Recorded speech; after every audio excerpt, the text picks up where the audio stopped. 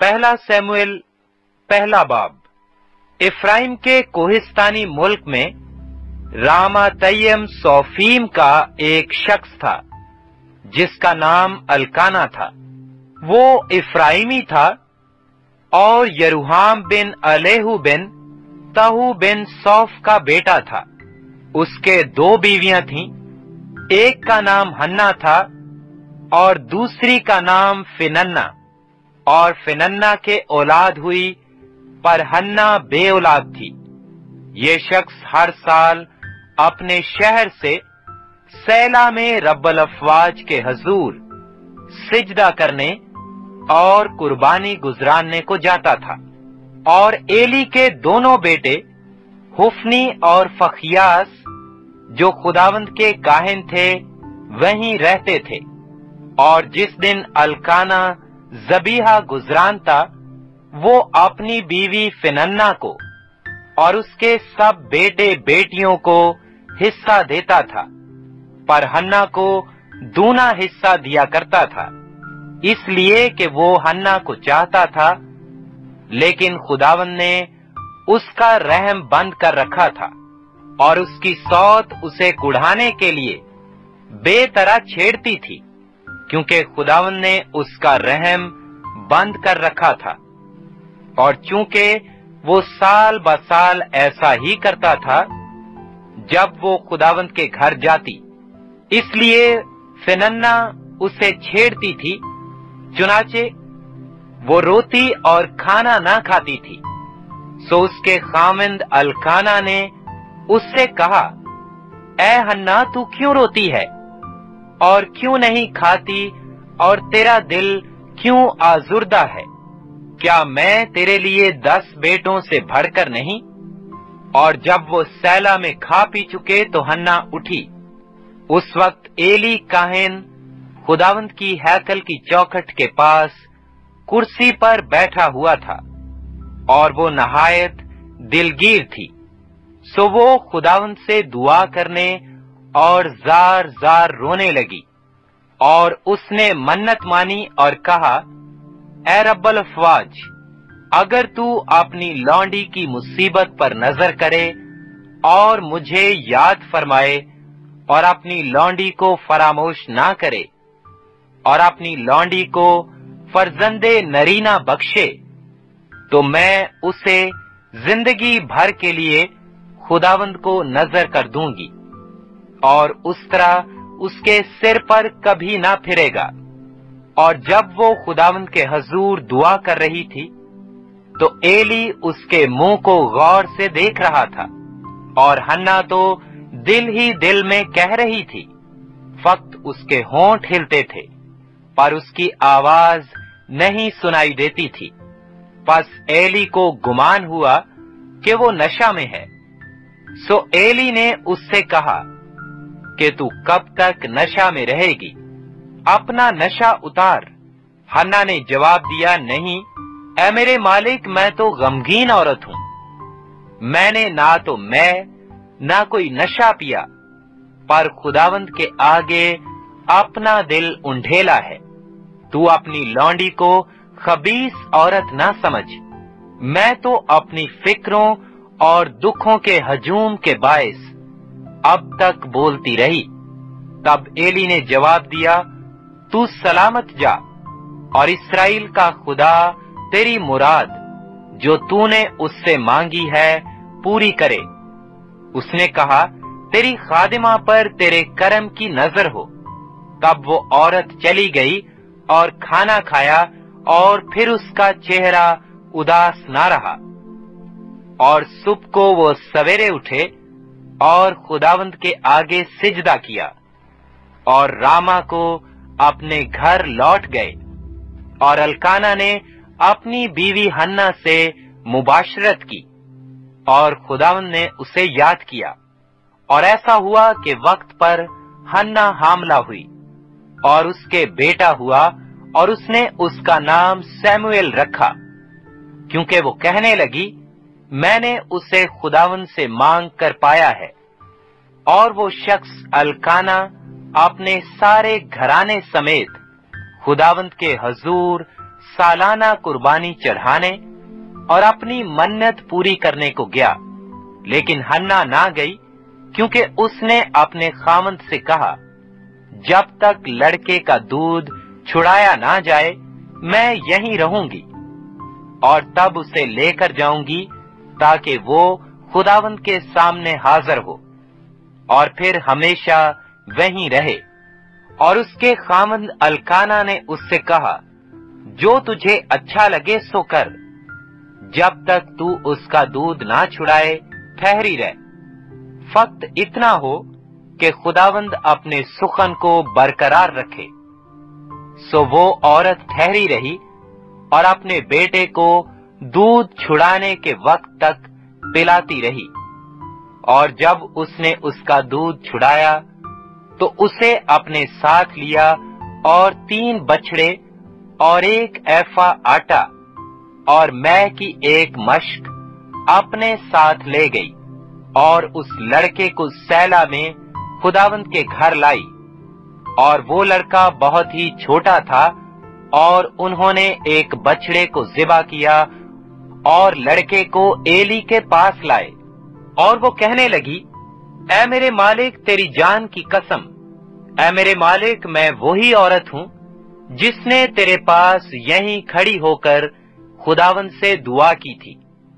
मैंने इस लड़के के लिए दुआ की थी, और खुदावन ने मेरी मुराद, जो मैंने उससे मांगी, पूरी की। इसीलिए मैंने भी इसे खुदावंत को दे दिया। ये अपनी ज़िंदगी भर के लिए खुदावंत को दे दिया गया है। तब उसने वहाँ खुदावंत के आगे सिजदा किया। पहला सैमुअल बाब दो, और हन्ना ने दुआ की और कहा कि मेरा दिल खुदावन में मगन है। मेरा सींग खुदावन के तुफैल से ऊँचा हुआ। मेरा मुँह मेरे दुश्मनों पर खुल गया है। क्योंकि मैं तेरी निजात से खुश हूँ। खुदावंत की मानिंद कोई कद्दूस नहीं, क्योंकि तेरे सिवा और कोई है ही नहीं, और ना कोई चट्टान है जो हमारे खुदा की मानिंद हो। इस कदर गरूर से और बातें ना करो, और बड़ा बोल तुम्हारे मुँह से ना निकले, क्योंकि खुदावंद खुदाए अलीम है, और अमाल का तोलने वाला जोरावरों की कमाने टूट गईं, और जो लड़खड़ाते थे, वो कुवत से कमर बस्ता हुए, और जो आसूदा थे, रोटी की खातिर मजदूर बने, और जो भूखे थे, ऐसे ना रहे, बल्कि जो बांझ थी, उसके साथ हुए, और जिसके पास बहुत बच्चे हैं, वो घुलती जाती है। खुदावंद मारता है और जलाता है। वही कब्र में उतारता और उससे निकालता है। खुदावंद मस्कीन कर देता और दौलतमंद बनाता है। वही पस्त करता और सरफराज भी करता है। वो गरीब को खाक पर से उठाता और कंगाल को घोरे में से निकाल खड़ा करता है, ताकि इनको शाहजादों के साथ बिठाए। और जलाल के तख्त के वारिस बनाए, क्योंकि ज़मीन के सतून खुदावंद के हैं। उसने दुनिया को उन्हीं पर कायम किया है।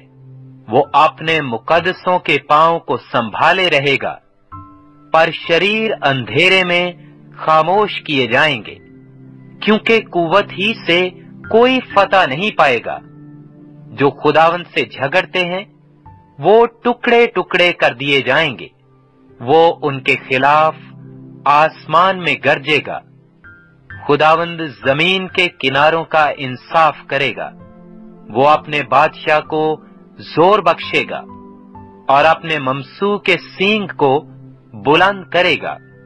तब अलकाना रामा को अपने घर चला गया और एली काहिन के सामने वो लड़का खुदावंद के खिदमत करने लगा और एली के बेटे बहुत शरीफ थे। उन्होंने खुदावंद को ना पहचाना और काहिनों का दस्तूर लोगों के साथ ये था कि जब कोई शख्स कुर्बानी चढ़ाता था तो काहिन का नौकर गोश्त उबालने के वक्त एक सह शाखा कांटा अपने हाथ में लिए हुए आता था और उसको कड़ा या देगचे या हांडे या हांडी में डालता और जितना गोश्त उस कांटे में लग जाता, उसे काहिन आप लेता था।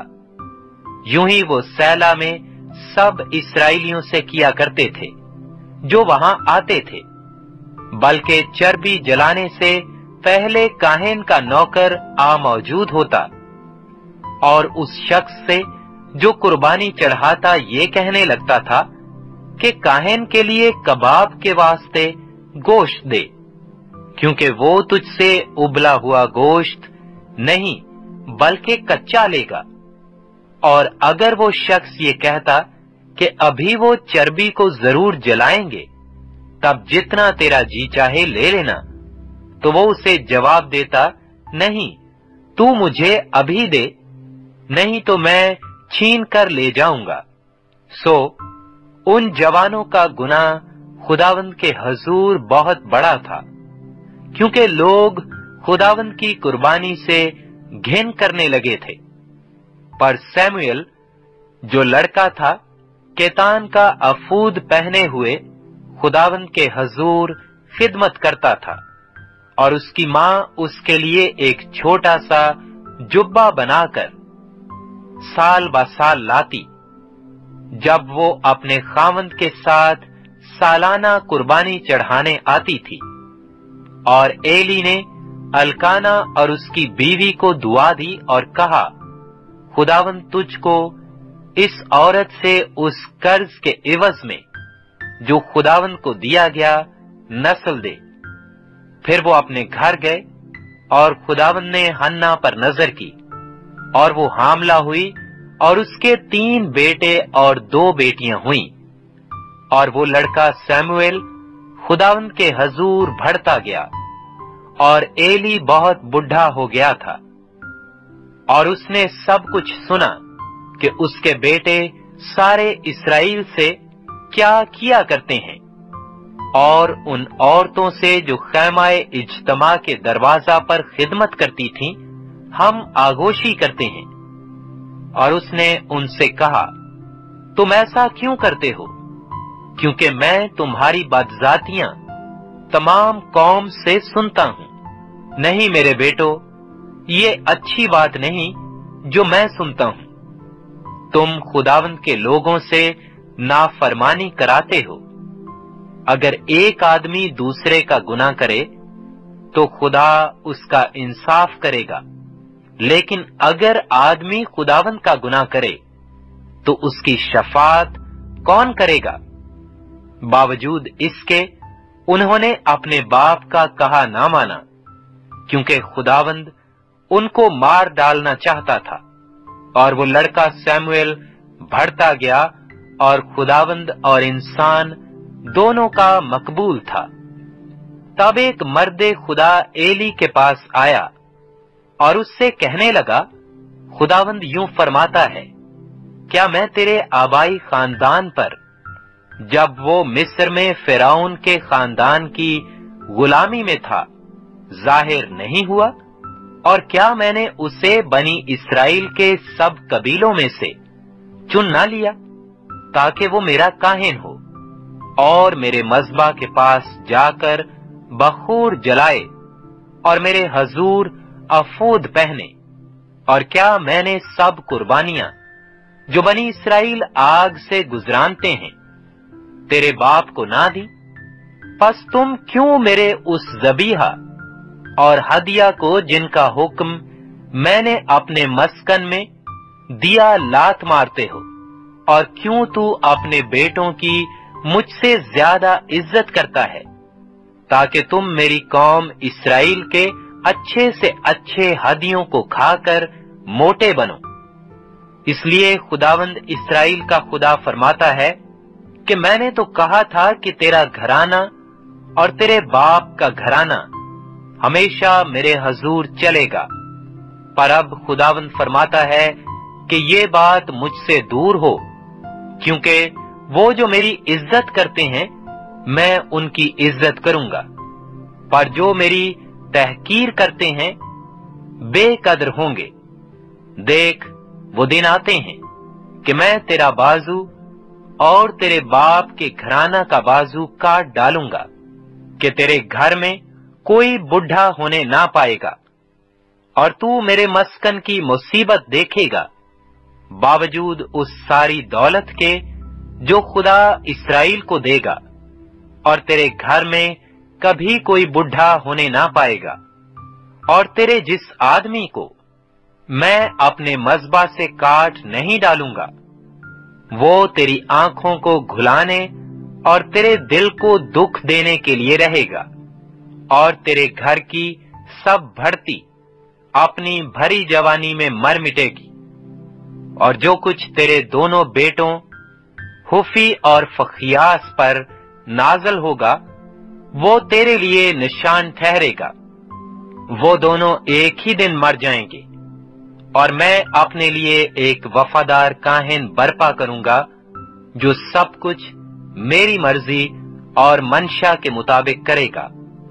और मैं उसके लिए एक पायदार घर बनाऊँगा। और वो हमेशा मेरे ममसू के आगे आगे चलेगा। और ऐसा होगा कि हर एक शख्स जो तेरे घर में बच रहेगा, एक टुकड़े चांदी और रोटी के एक गिरदे के लिए, उसके सामने आकर सिजदा करेगा और कहेगा कि कहानत का कोई काम मुझे दीजिए, ताकि मैं रोटी का नवाला खा सकूँ। पहला सैमुएल, बाब तीन। और वो लड़का सैमुएल एली के सामने खुदावंत की खिदमत करता था। और उन दिनों खुदावंत का कलाम गरा कदर था। कोई रोया बरमला ना होती थी। और उस वक्त ऐसा हुआ कि जब एली अपनी जगह लेटा था, उसकी आँखें धुंधलाने लगी थीं और वो देख नहीं सकता था। और खुदा का चिराग अब तक बुझा नहीं था। और सैमुएल खुदावंत की हैकल में, जहाँ खुदा का संदूक था, लेटा हुआ था। तो खुदावंत ने सैमुएल को पुकारा। उसने कहा, मैं हाजिर हूँ। और वो दौड़कर एली के पास गया और कहा, तूने मुझे पुकारा, सो मैं हाजिर हूँ। उसने कहा, मैंने नहीं पुकारा, फिर लेट जा। सो वो जाकर लेट गया और खुदावन ने फिर पुकारा सैमुएल सैमुएल उठकर एली के पास गया और कहा, तूने मुझे पुकारा, सो मैं हाजिर हूँ। उसने कहा ए मेरे बेटे, मैंने नहीं पुकारा। फिर लेट जा। और सैमुएल ने हनूज खुदावंद को नहीं पहचाना था और ना खुदावंद का कलाम उस पर ज़ाहिर हुआ था। फिर खुदावंद ने तीसरी दफ़ा सैमुएल को पुकारा और वो उठकर एली के पास गया और कहा, तूने मुझे पुकारा, सो मैं हाजिर हूँ। सो एली जान गया कि खुदावन ने उस लड़के को पुकारा। इसलिए एली ने सैमुएल से कहा, जा लेट रहे और अगर वो तुझे पुकारे तो तू कहना ए खुदावंत फरमा, क्योंकि तेरा बंदा सुनता है। सो सैमुएल जाकर अपनी जगह पर लेट गया। तब खुदावंद आ खड़ा हुआ और पहले की तरह पुकारा, सैमुएल सैमुएल सैमुएल ने कहा, फरमा, क्योंकि तेरा बंदा सुनता है? खुदावन ने सैमुएल से कहा, देख, मैं इसराइल में ऐसा काम करने पर हूँ, जिससे हर सुनने वाले के कान भुना जाएँगे। उस दिन मैं एली पर सब कुछ, जो मैंने उसके घराने के हक में कहा है, शुरू से आखिर तक पूरा करूँगा, क्योंकि मैं उसे बता चुका हूँ कि मैं उस बदकारी के सबब से, जिसे वो जानता है, हमेशा के लिए उसके घराने का फैसला करूँगा, क्योंकि उसके बेटों ने अपने ऊपर लानत बुलाई। और उसने उनको ना रोका। इसीलिए एली के घराने की बाबत मैंने कसम खाई कि एली के घराने की बदकारी ना तो कभी किसी जबीहा से साफ़ होगी, ना हदिया से, और सैमुएल सुबह तक लेटा रहा। तब उसने खुदावन के घर के दरवाजे खोले और सैमुएल एली पर रोया ज़ाहिर करने से डरा। तब एली ने सैमुएल को बुलाकर कहा ए मेरे बेटे सैमुएल। उसने कहा, मैं हाजिर हूँ। तब उसने पूछा, वो क्या बात है जो खुदावन ने तुझसे कही है? मैं तेरी मिन्नत करता हूँ, उसे मुझसे पौशीदा ना रख।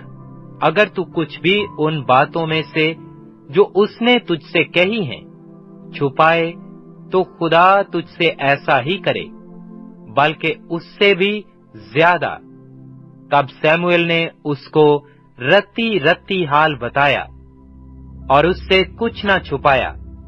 उसने कहा, वो खुदावंद है, जो वो भला जाने सो करे। और सैमुएल बड़ा होता गया और खुदावंद उसके साथ था और उसने उसकी बातों में से किसी को मिट्टी में मिलने ना दिया। और सब बनी इसराइल ने दान से बेरसबा तक जान लिया कि सैमुएल खुदावन का नबी मुकर्र हुआ और खुदावन सैला में फिर ज़ाहिर हुआ, क्योंकि खुदावन ने अपने आप को सैला में सैमुएल पर अपने कलाम के ज़रिया से ज़ाहिर किया। पहला सैमुएल चौथा बाब, और सैमुएल की बात सब इसराइलियों के पास पहुँची। और इसराइली फलिस्तियों से लड़ने को निकले और इबन अजर के आसपास डेरे लगाए और फलिस्तियों ने अफीक में खैमे खड़े किए और फलिस्तियों ने इसराइल के मुकाबला के लिए साफाराई की और जब वो बाहम लड़ने लगे तो इसराइलियों ने फलिस्तियों से शिकस्त खाई और उन्होंने उनके लश्कर में से जो मैदान में था करीबन चार हज़ार आदमी कत्ल किए। और जब वो लोग लश्करगाह में फिर आए तो इसराइल के बुज़ुर्गों ने कहा कि आज खुदावन ने हमको फलिस्तियों के सामने क्यों शिकस्त दी? आओ हम खुदावन के अहद का संदूक सेला से अपने पास लेकर आएँ, ताकि वो हमारे दरमियान आकर हमको हमारे दुश्मनों से बचाए। सो उन्होंने सैला में लोग भेजे और वो करोबियों के ऊपर बैठने वाले रब्बल अफवाज के अहद के संदूक को वहाँ से ले आए और एली के दोनों बेटे, उफनी और फखियास, खुदा के अहद के संदूक के साथ वहाँ हाजिर थे। और जब खुदावन के अहद का संदूक लश्करगाह में आ पहुँचा तो सब इसराइली ऐसे ज़ोर से ललकारने लगे कि ज़मीन गूंज उठी और फलिस्तियों ने जो ललकारने की आवाज़ सुनी तो वो कहने लगे कि इन इब्रानियों की लश्करगाह में इस बड़ी ललकार के शोर के क्या मानी है? फिर उनको मालूम हुआ कि खुदावंद का संदूक लश्करगाह में आया है। सो फलिस्ती डर गए, क्योंकि वो कहने लगे कि खुदा लश्करगाह में आया है और उन्होंने कहा कि हम पर वावेला है, इसलिए कि इससे पहले ऐसा कभी नहीं हुआ। हम पर वावेला है। ऐसे ज़बरदस्त देवताओं के हाथ से हमको कौन बचाएगा? ये वही देवता हैं, जिन्होंने मिस्रियों को बियाबान में हर किस्म की बला से मारा। ए फलिस्तियों, तुम मज़बूत हो और मर्दानगी करो ताकि तुम इब्रानियों के गुलाम ना बनो, जैसे वो तुम्हारे बने, बल्कि मर्दानगी करो और लड़ो। और फिलिस्ती लड़े, और बनी इसराइल ने शिकस्त खाई, और हर एक अपने डेरे को भागा।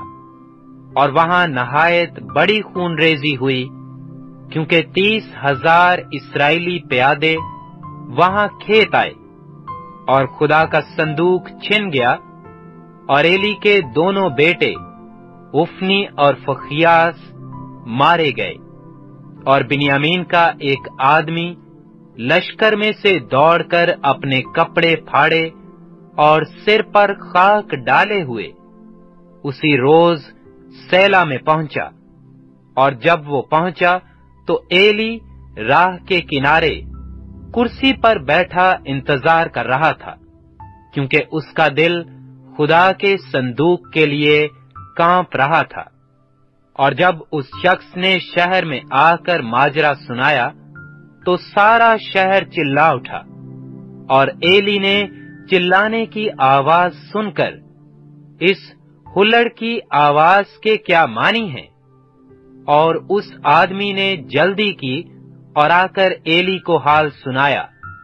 और एली अट्ठानवे बरस का था और उसकी आँखें रह गई थीं और उसे कुछ नहीं सूझता था। सो उस शख्स ने एली से कहा, मैं फौज में से आता हूँ और मैं आज ही फौज के बीच से भागा हूँ। उसने कहा, ऐ मेरे बेटे क्या हाल रहा?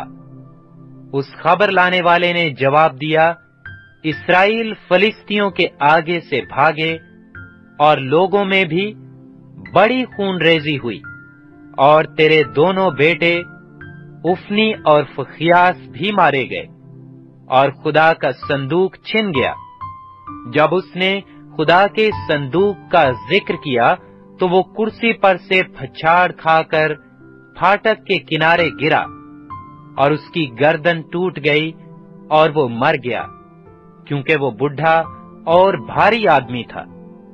वो चालीस बरस बनी इसराइल का काजी रहा और उसकी बहू फखियास की बीवी हमल से थी और उसके जनने का वक्त नज़दीक था और जब उसने ये खबरें सुनी कि खुदा का संदूक छिन गया और उसका खुसर और खामद मर गए तो वो झुककर जनी क्योंकि दर्द जय उसके लग गया था। और उसके मरते वक्त उन औरतों ने जो उसके पास खड़ी थीं, उसे कहा मत डर क्योंकि तेरे बेटा हुआ है पर उसने ना जवाब दिया और ना कुछ तवज्जो की। और उसने उस लड़के का नाम यकबूद रखा और कहने लगी कि हशमत इसराइल से जाती रही, इसलिए कि खुदा का संदूक छिन गया था और उसका खुसर और खामंद जाते रहे थे। सो उसने कहा कि हशमत इसराइल से जाती रही क्योंकि खुदा का संदूक छिन गया है। पहला सैमुएल पांचवा बाब। और फिलिस्तियों ने खुदा का संदूक छीन लिया और वो उसे इब्ने अजर से अशदूद को ले गए और फलिस्ती खुदा के संदूक को लेकर उसे दजौन के घर में लाए और दजौन के पास उसे रखा और अशदूदी, जब सुबह को सवेरे उठे तो देखा कि दजौन खुदावंत के संदूक के आगे औंधे मुँह ज़मीन पर गिरा पड़ा है। तब उन्होंने दजौन को लेकर उसकी जगह उसे फिर खड़ा कर दिया। फिर वो, जो दूसरे दिन की सुबह को सवेरे उठे तो देखा कि दजौन खुदावन के संदूक के आगे औंधे मुँह ज़मीन पर गिरा पड़ा है और दजौन का सिर और उसकी हथेलियाँ दहलीज पर कटी पड़ी थी। फक्त दजौन का धड़ ही धड़ रह गया था। इसलिए दजौन के पुजारी और जितने दजौन के घर में आते हैं, आज तक अशदोद में दजौन की दहलीज पर पाँव नहीं रखते, पर खुदावन का हाथ अशदूदियों पर भारी हुआ और वो उनको हलाक करने लगा। और अशदूद और उसकी नवाही के लोगों को गिल्टियों से मारा और अशदोदियों ने जब ये हाल देखा तो कहने लगे कि इसराइल के खुदा का संदूक हमारे साथ ना रहे, क्योंकि उसका हाथ बुरी तरह हम पर और हमारे देवता दजोन पर है। सो उन्होंने फलिस्तियों के सब सरदारों को बुलवाकर अपने हाथ जमा किया और कहने लगे, हम इसराइल के खुदा के संदूक को क्या करें? उन्होंने जवाब दिया कि इसराइल के खुदा का संदूक जात को पहुँचाया जाए, सो वो इसराइल के खुदा के संदूक को वहाँ ले गए। और जब वो उसे ले गए तो यूँ हुआ कि खुदावंत का हाथ उस शहर के खिलाफ ऐसा उठा कि उसमें बड़ी भारी हलचल मच गई, और उसने उस शहर के लोगों को छोटे से बड़े तक मारा। और उनके गिल्टियाँ निकलने लगीं। बस उन्होंने खुदा का संदूक अक्रोन को भेज दिया और जू ही खुदा का संदूक अक्रोन में पहुँचा, अक्रोनी चिल्लाने लगे कि वो इसराइल के खुदा का संदूक हम में इसलिए लाए हैं कि हमको और हमारे लोगों को मरवा डालें सो उन्होंने फिलिस्तियों के सरदारों को बुलवाकर जमा किया और कहने लगे कि इसराइल के खुदा के संदूक को रवाना कर दो, कि वो फिर अपनी जगह पर जाए और हमको और हमारे लोगों को मार डालने ना पाए, क्योंकि वहाँ सारे शहर में मौत की हलचल मच गई थी और खुदावन का हाथ वहाँ नहायत भारी हुआ। और जो लोग मरे नहीं, वो गिल्टियों के मारे पड़े रहे और शहर की फरियाद आसमान तक पहुँची। पहला सैमुअल बाब सो खुदावंत का संदूक सात महीने तक फिलिस्तियों के मुल्क में रहा। तब फिलिस्तियों ने काहिनों और नजूमियों को बुलाया और कहा कि हम खुदावंत के इस संदूक को क्या करें? हमको बताओ कि हम क्या साथ करके उसे उसकी जगह भेजें। उन्होंने कहा कि अगर तुम इसराइल के खुदा के संदूक को वापस भेजते हो तो उसे खाली ना भेजना, बल्कि जुर्म की कुर्बानी उसके लिए ज़रूर ही साथ करना। तब तुम शिफा पाओगे और तुमको मालूम हो जाएगा कि वो तुमसे किस लिए दस्तबरदार नहीं होता। उन्होंने पूछा कि वो जुर्म की कुर्बानी, जो हम उसको दें क्या हो? उन्होंने जवाब दिया कि फलिस्ती सरदारों के शुमार के मुताबिक, सोने की पाँच गठिया और सोने ही की पाँच चोहियाँ, क्योंकि तुम सब और तुम्हारे सरदार दोनों एक ही आजार में मुब्तला हो। सो तुम अपनी गिट्ठियों की मूर्तें और उन चोहियों की मूर्तें जो मुल्क को खराब करती हैं बनाओ और इसराइल के खुदा की तमजीद करो। शायद यूँ वो तुम पर से और तुम्हारे देवताओं पर से और तुम्हारे मुल्क पर से अपना हाथ हल्का कर ले। तुम क्यों अपने दिल को सख्त करते हो? जैसे मिस्रियों ने और फिराउन ने अपने दिल को सख्त किया। जब उसने उनके दरमियान अजीब काम किए तो क्या उन्होंने खुदा को जाने ना दिया? और क्या वो चले ना गए? अब तुम एक नई गाड़ी बनाओ और दो दूध वाली गायें, जिनके जुआ ना लगा हो, लो और उन गायों को गाड़ी में जोतो। और उनके बच्चों को घर लौटा दो और खुदावन का संदूक लेकर उस गाड़ी पर रखो और सोने की चीज़ों को, जिनको तुम जुर्म की कुर्बानी के तौर पर साथ करोगे, एक संदूकचा में करके उसके पहलू में रख दो और उसे रवाना कर दो कि चला जाए और देखते रहना। अगर वो अपनी ही सरहद के रास्ता बैते शम्मस को जाए तो उसी ने हम पर ये बलाए अजीम भेजी। और अगर नहीं तो हम जान लेंगे कि उसका हाथ हम पर नहीं चला, बल्कि ये हादसा जो हम पर हुआ इतफाकी था। सो उन लोगों ने ऐसा ही किया, और दो दूध वाली गायें लेकर उनको गाड़ी में जोता और उनके बच्चों को घर में बंद कर दिया और खुदावन के संदूक और सोने की चोइयों और अपनी गट्टियों की मूर्तियों के संदूकचा को गाड़ी पर रख दिया। उन गायों ने बैते शम्मस का सीधा रास्ता लिया। वो सड़क ही सड़क डकारती गईं और दाहने या बाएँ हाथ ना मुड़ी। और फिलिस्ती सरदार उनके पीछे पीछे बैते शम्मस की सरहद तक गए। और बैत शम्मस के लोग वादी में गेहूँ की फ़सल काट रहे थे। उन्होंने जो आँखें उठाई तो संदूक को देखा और देखते ही खुश हो गए। और गाड़ी बैते शमसी यशु के खेत में आकर वहाँ खड़ी हो गई, जहाँ एक बड़ा पत्थर था। सो उन्होंने गाड़ी की लकड़ियों को चीरा और गायों को सोख्तनी कुर्बानी के तौर पर खुदावंत के हजूर गुजराना और लावियों ने खुदावंत के संदूक को और उस संदूकचा को, जो उसके साथ था, जिसमें सोने की चीज़ें थीं, नीचे उतारा। और उनको उस बड़े पत्थर पर रखा। और बैते शम्मस के लोगों ने उसी दिन खुदावन के लिए सोख्तनी कुर्बानियाँ चढ़ाई और जबीहे गुजराने। जब उन पाँचों फलिस्ती सरदारों ने ये देख लिया तो वो उसी दिन अक्रोन को लौट गए।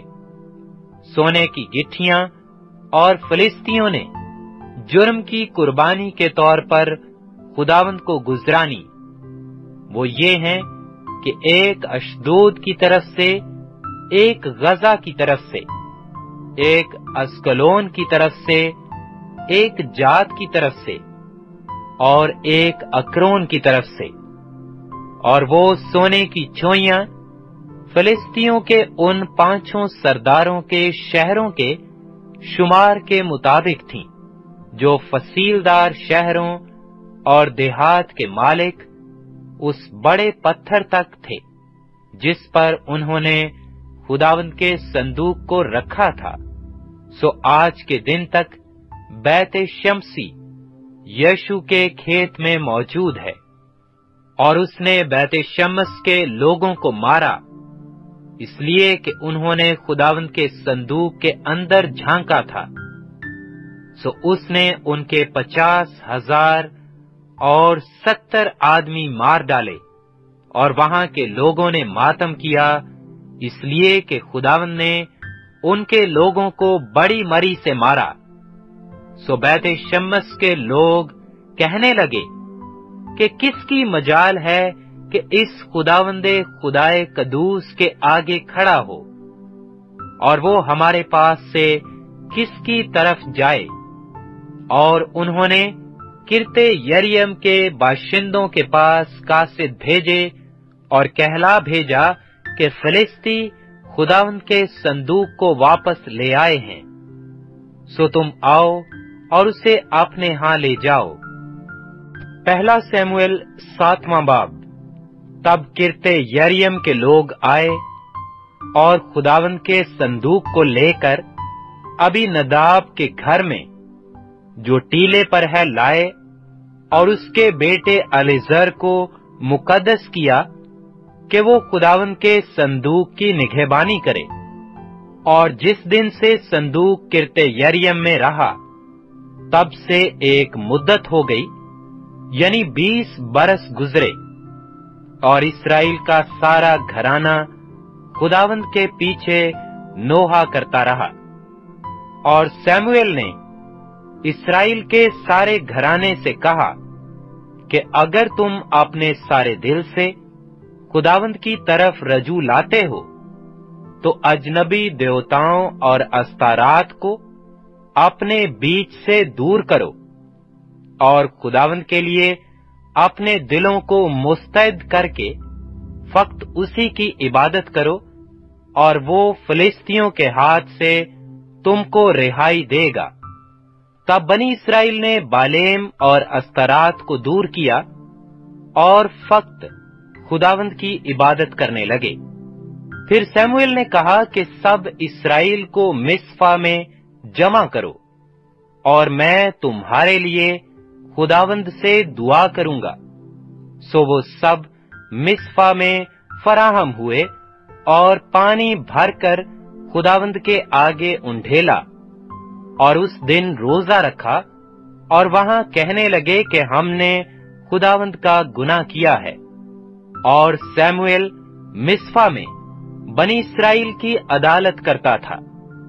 और जब फिलिस्तियों ने सुना कि बनी इसराइल मिसफा में फराहम हुए हैं तो उनके सरदारों ने बनी इसराइल पर चढ़ाई की। और जब बनी इसराइल ने यह सुना तो वो फिलिस्तियों से डरे। और बनी इसराइल ने सैमुएल से कहा कि खुदावंद हमारे खुदा के हजूर, हमारे लिए फरियाद करना ना छोड़, ताकि वो हमको फलिस्तियों के हाथ से बचाए। और सैमुएल ने एक दूध पीता बर्रा लिया और उससे पूरी सोख्तनी कुर्बानी के तौर पर खुदावंद के हजूर गुजराना और सैमुएल बनी इसराइल के लिए खुदावंद के हजूर फरियाद करता रहा और खुदावंद ने उसकी सुनी और जिस वक्त सैमुएल उस सोख्तनी कुर्बानी को गुजरान रहा था, उस वक्त फलिस्ती इसराइल से जंग करने को नज़दीक आए। लेकिन खुदावंद फलिस्तियों के ऊपर उसी दिन बड़ी कड़क के साथ गरजा और उनको घबरा दिया। और उन्होंने इसराइलियों के आगे शिकस्त खाई और इसराइल के लोगों ने मिसफा से निकलकर और बैत करके नीचे तक उन्हें मारते चले गए। तब सैमुएल ने एक पत्थर लेकर उसे मिसफा और शीन के बीच में नस्ब किया और उसका नाम इब्ने अजर ये कहकर रखा कि यहाँ तक खुदावन ने हमारी मदद की। फलिस्ती मगलूब हुए और इसराइल की सरहद में फिर न आए। और सैमुएल की ज़िंदगी भर खुदावंद का हाथ फिलिस्तियों के खिलाफ रहा। और अकरून से जात तक के शहर, जिनको फिलिस्तियों ने इसराइलियों से ले लिया था, वो फिर इसराइलियों के कब्जा में आए। और इसराइलियों ने उनकी नवाही भी फिलिस्तियों के हाथ से छुड़ा ली। और इसराइलियों और अमूरियों में सुला थी। और सैमुएल अपनी ज़िंदगी भर इसराइलियों की अदालत करता रहा, और वो साल ब साल बैतल और जेजाल और मिसफा में दौरा करता और उन सब मुकामों में बनी इसराइल की अदालत करता था। फिर वो रामा को लौट आता, क्योंकि वहाँ उसका घर था। और वहाँ इसराइल की अदालत करता था। और वहीं उसने खुदावंद के लिए एक मजबा बनाया। पहला सैमुएल, नौवा बाब, और बिनियामीन के कबीले का एक शख्स था, जिसका नाम कैस बिन अबियल बिन सवर बिन बकरूत बिन अफीक था। वो एक बिनियामीनी का बेटा और ज़बरदस्त सूरमा था। उसका एक जवान और खूबसूरत बेटा था, जिसका नाम साउल था, और बनी इसराइल के दरमियान उससे खूबसूरत कोई शख्स ना था। वो ऐसा कदावर था कि लोग उसके कंधे तक आते थे, और साउल के बाप कैस के गधे खो गए।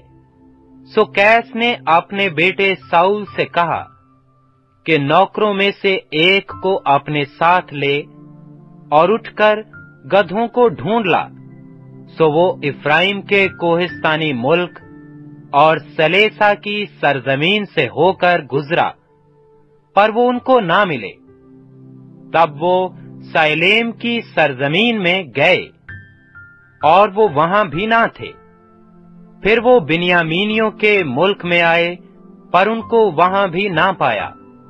जब वो सौफ के मुल्क में पहुँचे तो साउल अपने नौकर से जो उसके साथ था कहने लगा आ हम लौट जाएँ, ता ना हो कि मेरा बाप गधों की फ़िक्र छोड़कर हमारी फ़िक्र करने लगे।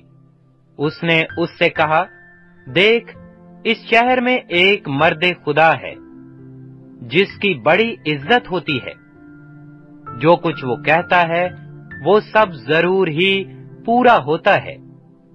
सो हम उधर चलें शायद वो हमको बता दे कि हम किधर जाएँ। साउल ने अपने नौकर से कहा, लेकिन देख, अगर हम वहाँ चलें तो उस शख्स के लिए क्या लेते जाएँ?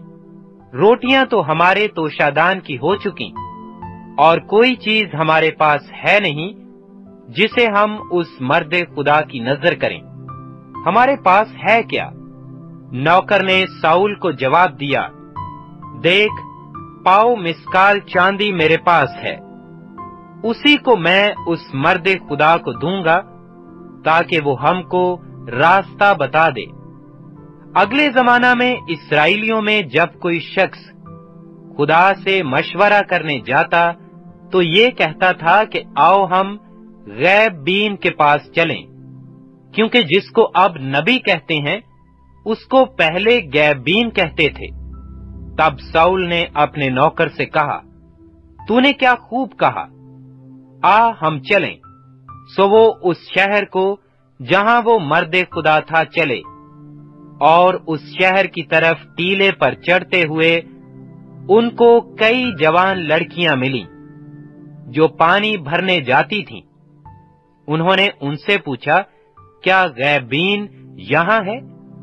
उन्होंने उनको जवाब दिया हाँ है। देखो, वो तुम्हारे सामने ही है। सो जल्दी करो, क्योंकि वो आज ही शहर में आया है। इसलिए कि आज के दिन ऊँचे मुकाम में लोगों की तरफ़ से कुर्बानी होती है। जो ही तुम शहर में दाखिल होगे, वो तुमको पेशतर उससे कि वो ऊँचे मुकाम में खाना खाने जाए, मिलेगा। क्योंकि जब तक वो ना पहुँचे लोग खाना नहीं खाएँगे, इसलिए कि वो कुर्बानी को बरकत देता है। उसके बाद मेहमान खाते हैं। सो अब तुम चढ़ जाओ, क्योंकि इस वक्त वो तुमको मिल जाएगा। सो वो शहर को चले और शहर में दाखिल होते ही देखा कि सैमुएल उनके सामने आ रहा है, ताकि वो ऊँचे मुकाम को जाए। और खुदावन ने साउल के आने से एक दिन पेशतर सैमुएल पर ज़ाहिर कर दिया था कि कल इसी वक्त मैं एक शख्स को बिनियामीन के मुल्क से तेरे पास भेजूँगा। तू से मसा करना ताकि वो मेरी कौम इसराइल का पेशवा हो और वो मेरे लोगों को फलिस्तियों के हाथ से बचाएगा, क्योंकि मैंने अपने लोगों पर नज़र की है। इसलिए कि उनकी फरियाद मेरे पास पहुँची है। सो जब सैमुएल साउल से दो चार हुआ तो खुदावन ने उससे कहा, देख, यही वो शख्स है, जिसका ज़िक्र मैंने तुझसे किया था। यही मेरे लोगों पर हुकूमत करेगा। फिर साउल ने फाटक पर सैमुएल के नज़दीक जाकर उससे कहा, कि मुझको जरा बता दे कि गैबीन का घर कहाँ है। सैमुएल ने साउल को जवाब दिया कि वो गैबीन मैं ही हूँ। मेरे आगे आगे ऊँचे मुकाम को जा, क्योंकि तुम आज के दिन मेरे साथ खाना खाओगे और सुबह को मैं तुझे रुखसत करूँगा और जो कुछ तेरे दिल में है सब तुझे बता दूँगा। और तेरे गधे जिनको खोए हुए तीन दिन हुए उनका ख्याल मत कर, क्योंकि वो मिल गए और इसराइलियों में जो कुछ मरगूब खातिर है, वो किसके लिए है? क्या वो तेरे और तेरे बाप के सारे घराना के लिए नहीं? साउल ने जवाब दिया, क्या मैं बिनियामीनी, यानी इसराइल के सबसे छोटे कबीले का नहीं? और क्या मेरा घराना बिनियामीन के कबीला के सब घरानों में सबसे छोटा नहीं, सो तू मुझसे ऐसी बातें क्यों कहता है? और सैमुएल, साउल और उसके नौकर को मेहमान खाना में लाया, और उनको मेहमानों के दरमियान जो कोई तीस आदमी थे, सदर जगह में बिठाया। और सैमुएल ने बावर्ची से कहा कि वो टुकड़ा जो मैंने तुझे दिया जिसके बारा में तुझसे कहा था कि इसे अपने पास रख छोड़ना। ले आ। बावर्ची ने वो रान ममा उसके, जो उस पर था, उठाकर साउल के सामने रख दी। तब सैमुएल ने कहा, ये देख, जो रख लिया गया था, उसे अपने सामने रख कर खा ले, क्योंकि वो इसे मोइन वक्त के लिए तेरे वास्ते रखी रही, क्योंकि मैंने कहा कि मैंने इन लोगों की दावत की है। सो साउल ने उस दिन सैमुएल के साथ खाना खाया, और जब वो ऊँचे मुकाम से उतरकर शहर में आए तो उसने सैमुएल से घर की छत पर बातें की, और वो सवेरे उठे, और ऐसा हुआ कि जब दिन चढ़ने लगा तो सैमुएल ने साउल को फिर घर की छत पर बुलाकर उससे कहा, उठ, कि मैं तुझे रुखसत करूँ। सो साउल उठा और वो और सैमुएल दोनों बाहर निकल गए और शहर के सिरे के उतार पर चलते चलते सैमुएल ने साउल से कहा कि आपने नौकर को हुक्म कर कि वो हमसे आगे बढ़े। सो वो आगे बढ़ गया। पर तू अभी ठहरा रहे, ताकि मैं तुझे खुदा की बात सुनाऊं।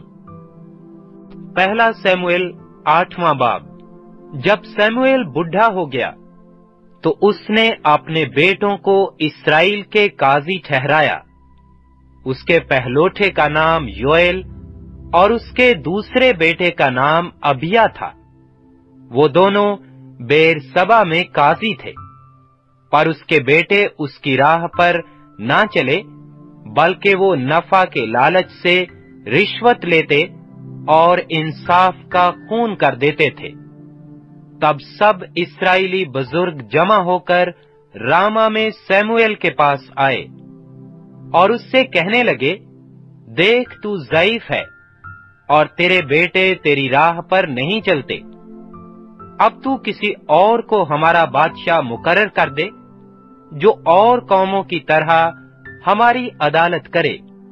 लेकिन जब उन्होंने कहा कि हमको कोई बादशाह दे जो हमारी अदालत करे तो ये बात सैमुएल को बुरी लगी और सैमुएल ने खुदावंद से दुआ की और खुदावंद ने सैमुएल से कहा कि जो कुछ ये लोग तुझसे कहते हैं, तू उसको मान, क्योंकि उन्होंने तेरी नहीं बल्कि मेरी हकारत की है कि मैं उनका बादशाह ना रहूँ। जैसे काम वो उस दिन से, जब से मैं उनको मिस्र से निकाल लाया, आज तक करते आए हैं कि मुझे तर्क करके और माबूदों की प्रस्तश करते रहे हैं। वैसा ही वो तुझसे करते हैं। सो तू उनकी बात मान तो भी तू संजीदगी से उनको खूब जता दे। और उनको बता भी दे कि वो बादशाह उन पर सल्तनत करेगा। उसका तरीकाकार कैसा होगा? और सैमुएल ने उन लोगों को, जो उससे बादशाह के तालिब थे खुदावन की सब बातें कह सुनाई। और उसने कहा कि जो बादशाह तुम पर सल्तनत करेगा, उसका तरीका ये होगा कि वो तुम्हारे बेटों को लेकर अपने रथों के लिए और अपने रिसाला में नौकर रखेगा और वो उसके रथों के आगे आगे दौड़ेंगे और वो उनको हज़ार हज़ार के सरदार और पचास पचास के जमादार बनाएगा और बाज से हल जोतवाएगा और फ़सल कटवाएगा और अपने लिए जंग के हथियार और अपने रथों के साज बनवाएगा।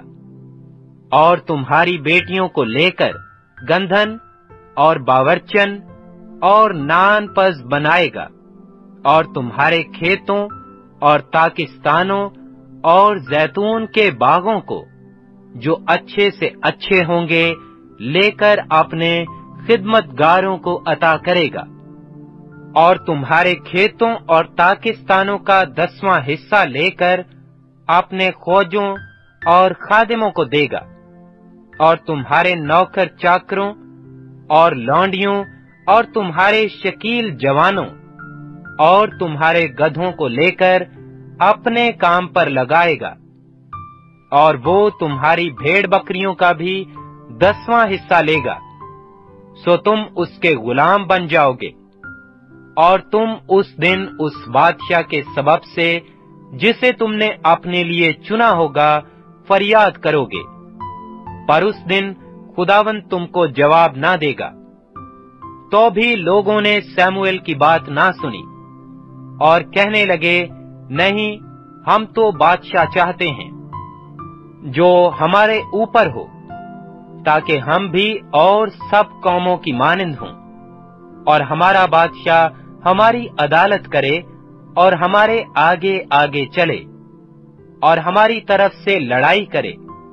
और सैमुएल ने लोगों की सब बातें सुनी और उनको खुदावंद के कानों तक पहुँचाया।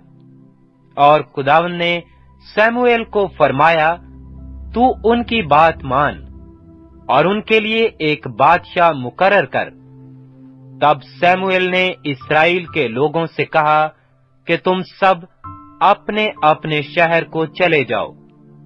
पहला सैमुएल, नौवा बाब, और बिनियामीन के कबीले का एक शख्स था, जिसका नाम कैस बिन अबियल बिन सवर बिन बकरूत बिन अफीक था।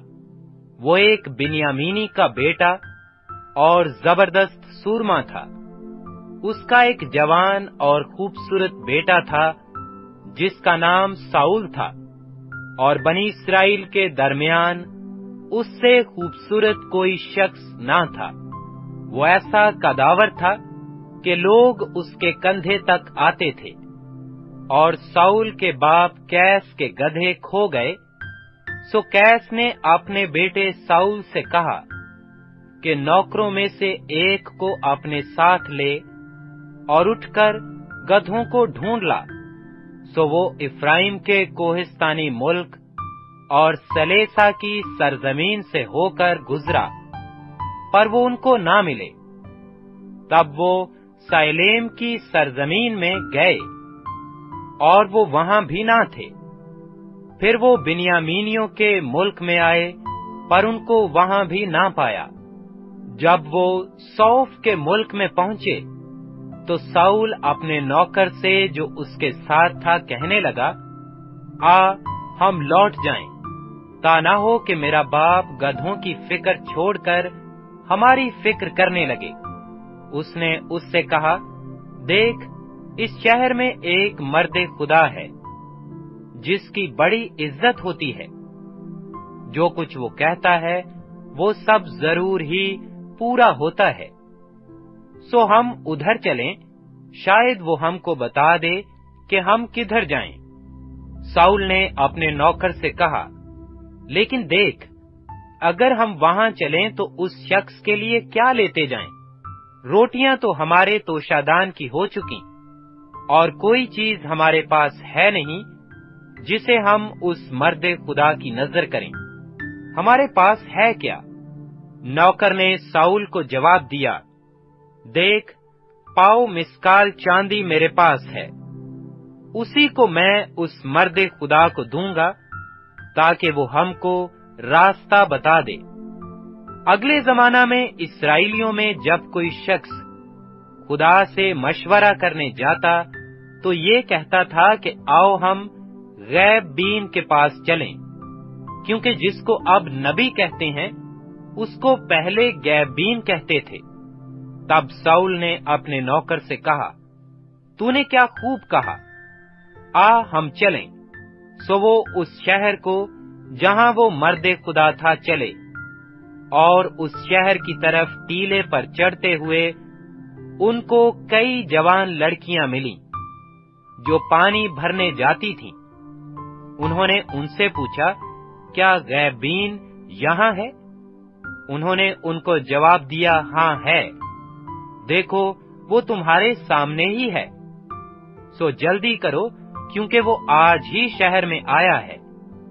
इसलिए कि आज के दिन ऊँचे मुकाम में लोगों की तरफ़ से कुर्बानी होती है। जो ही तुम शहर में दाखिल होगे, वो तुमको पेशतर उससे कि वो ऊँचे मुकाम में खाना खाने जाए, मिलेगा। क्योंकि जब तक वो ना पहुँचे लोग खाना नहीं खाएँगे, इसलिए कि वो कुर्बानी को बरकत देता है। उसके बाद मेहमान खाते हैं। सो अब तुम चढ़ जाओ, क्योंकि इस वक्त वो तुमको मिल जाएगा।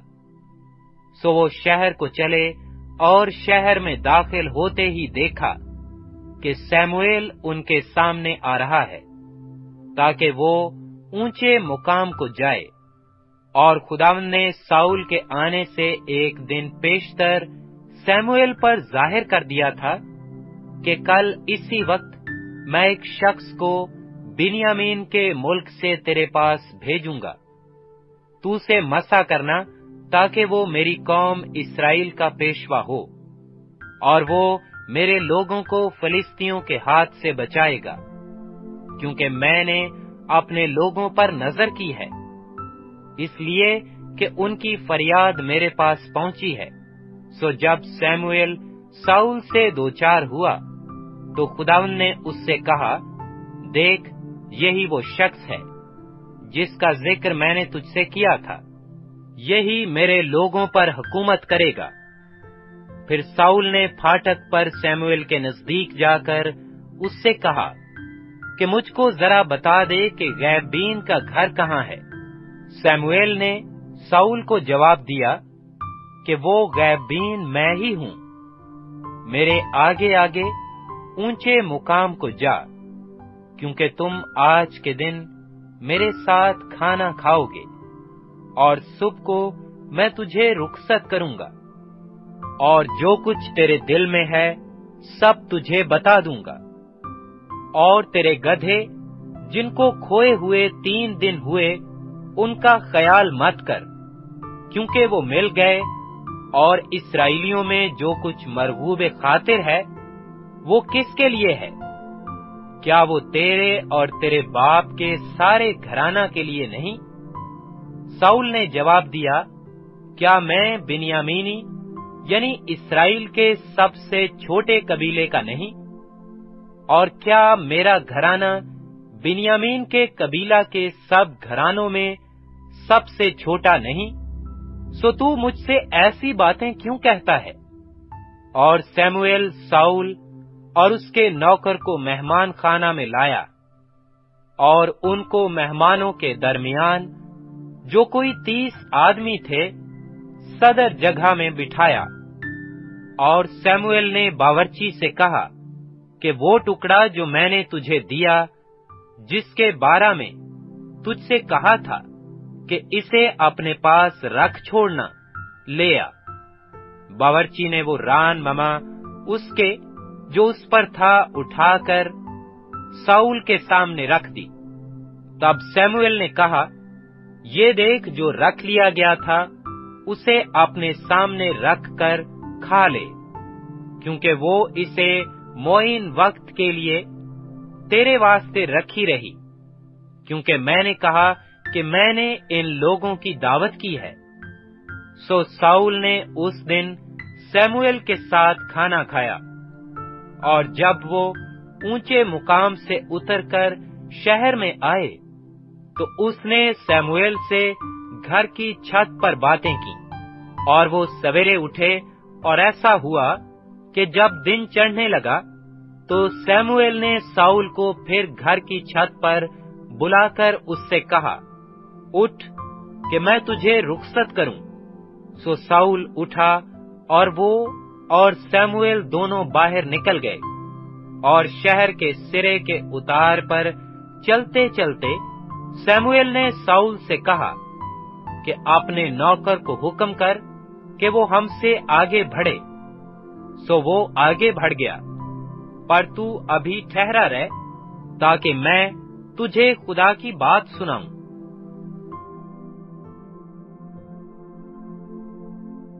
पहला सैमुएल दसवां बाब फिर सैमुएल ने तेल की कुप्पी ली और उसके सिर पर उंढेली और उसे चूमा और कहा कि यही बात नहीं कि खुदावन ने तुझे मसा किया ताकि तू उसकी मिरास का पेशवा हो।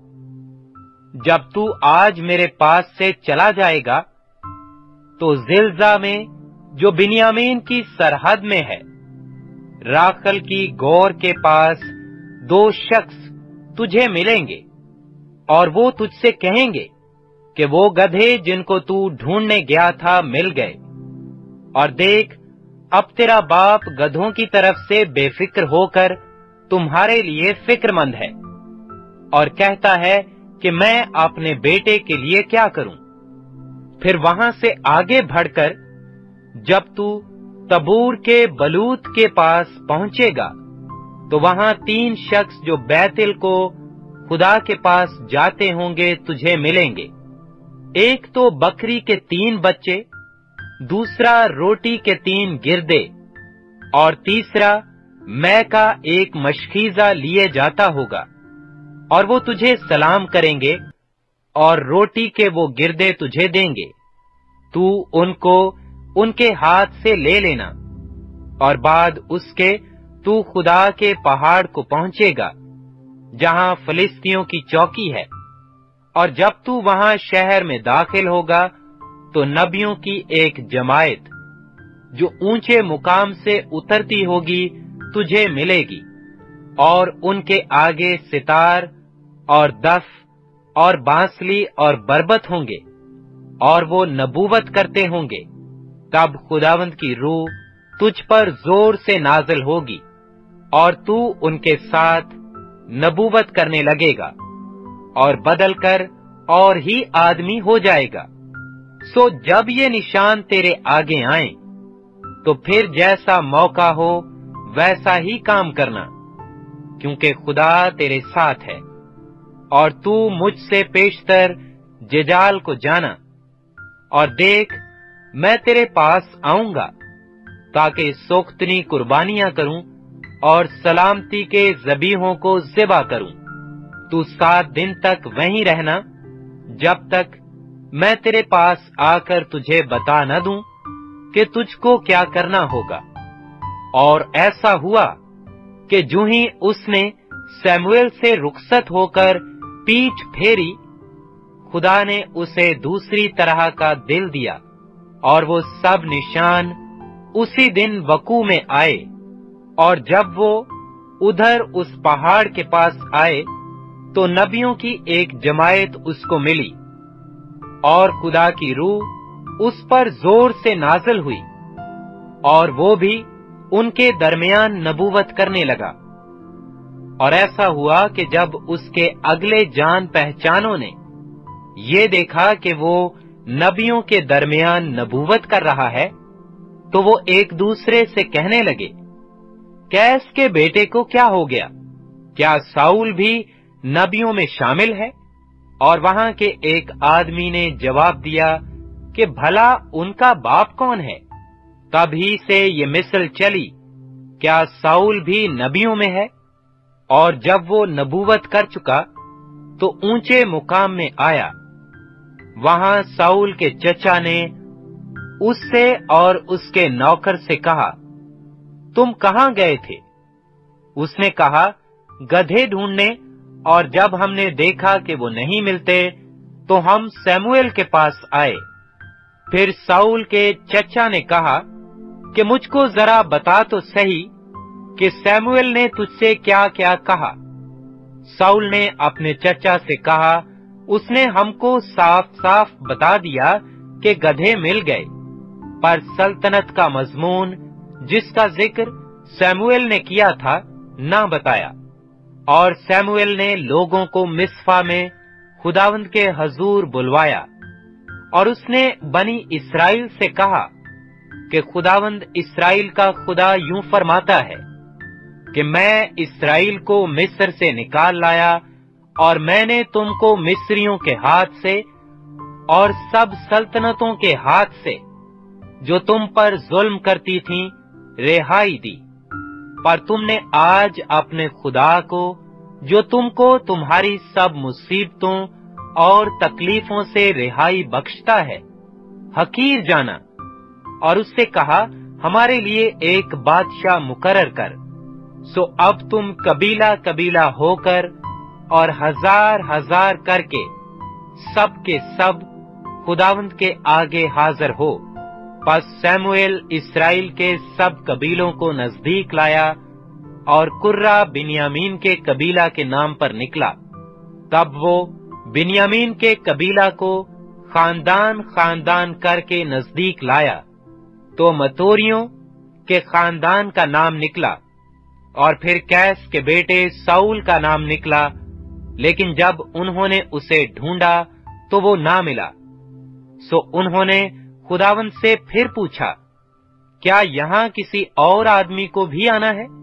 खुदावन ने जवाब दिया, देखो, वो असबाब के बीच छुप गया है। तब वो दौड़े और उसको वहाँ से लाए। और जब वो लोगों के दरमियान खड़ा हुआ तो ऐसा कदावर था कि लोग उसके कंधे तक आते थे। और सैमुएल ने उन लोगों से कहा, तुम उसे देखते हो जिसे खुदावन ने चुन लिया, कि उसकी मानिंद सब लोगों में एक भी नहीं। तब सब लोग ललकार कर बोल उठे कि बादशाह जीता रहे। फिर सैमुएल ने लोगों को हकूमत का तर्ज बताया और उसे किताब में लिखकर खुदावन के हजूर रख दिया। उसके बाद सैमुएल ने सब लोगों को रुखसत कर दिया कि अपने अपने घर जाएँ और सौल भी जुब्बा को अपने घर गया और लोगों का एक जत्था भी जिनके दिल को खुदा ने उभारा था, उसके साथ हो लिया। पर शरीरों में से बाज कहने लगे कि ये शख्स हमको किस तरह बचाएगा? सो उन्होंने उसकी तहकीर की और उसके लिए नजराने ना लाए। पर वो अनसुनी कर गया। पहला सैमुएल, ग्यारहवा बाब। तब अमोनी नाहस चढ़ाई करके याबेस जल्लाद के मुकाबिल खैमा जन हुआ और यबेस के सब लोगों ने नाहस से कहा, हमसे अहदो पैमा कर ले। और हम तेरी खिदमत करेंगे। तब अमूनी नाहस ने उनको जवाब दिया कि इस शर्त पर मैं तुमसे अहद करूँगा कि तुम सबकी दाहनी आँख निकाल डाली जाए और मैं इसे सब इसराइलियों के लिए जिल्लत का निशान ठहराऊं। तब याबेस के लोगों ने उससे कहा, हमको सात दिन की मोहलत दे। ताकि हम इसराइल की सब सरहदों में कासिद भेजें। तब अगर हमारा हमायती कोई ना मिले तो हम तेरे पास निकल आएँगे। और वो कासिद साउल के जुब्बा में आए, और उन्होंने लोगों को ये बातें कह सुनाई, और सब लोग चिल्ला चिल्ला कर रोने लगे। और साउल खेत से बैलों के पीछे पीछे चला आता था। और साउल ने पूछा कि इन लोगों को क्या हुआ कि रोते हैं? उन्होंने याबेस के लोगों की बातें उसे बताई। जब साउल ने ये बातें सुनी तो खुदा की रूह उस पर ज़ोर से नाजल हुई और उसका गुस्सा नहायत भड़का। सो उसने एक जोड़ी बैल लेकर उनको टुकड़े टुकड़े काटा और कासिदों के हाथ इसराइल की सब सरहदों में भेज दिया और ये कहा कि जो कोई आकर साउल और सैमुएल के पीछे ना हो ले उसके बैलों से ऐसा ही किया जाएगा। और खुदावंत का खौफ लोगों पर छा गया और वो यकतन होकर निकल आए और उसने उनको बजक में गिना। सो बनी इसराइल तीन लाख और यहूदा के मर्द तीस हज़ार थे। और उन्होंने उन कासिदों से जो आए थे कहा कि तुम याबेस जल्लाद के लोगों से यूँ कहना कि कल धूप तेज होने के वक्त तक तुम रिहाई पाओगे। सो कासिदों ने जाकर याबेस के लोगों को खबर दी और वो खुश हुए। तब अहले याबेस ने कहा, कल हम तुम्हारे पास निकल आएँगे। और जो कुछ तुमको अच्छा लगे, हमारे साथ करना। और दूसरी सुबह को साउल ने लोगों के तीन गौल किए, और वो रात के पिछले पहर लश्कर में घुसकर अमोनियों को कत्ल करने लगे। यहाँ तक कि दिन बहुत चढ़ गया, और जो बच निकले, सो ऐसे तितर बितर हो गए कि दो आदमी भी कहीं एक साथ ना रहे। और लोग सैमुएल से कहने लगे, किसने ये कहा था कि क्या साउल हम पर हुकूमत करेगा? उन आदमियों को लाओ, ताकि हम उनको कत्ल करें।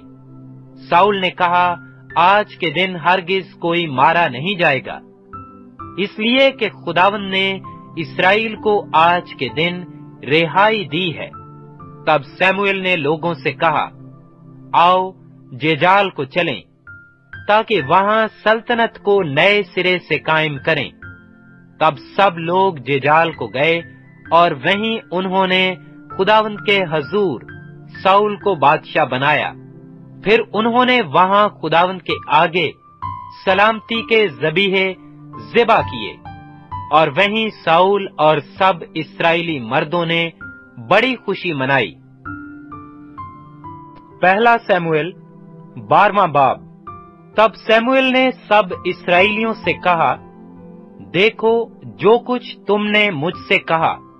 मैंने तुम्हारी एक एक बात मानी, और एक बादशाह तुम्हारे ऊपर ठहराया है। और अब देखो, ये बादशाह तुम्हारे आगे आगे चलता है।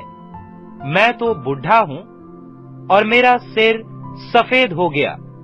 और देखो, मेरे बेटे तुम्हारे साथ हैं।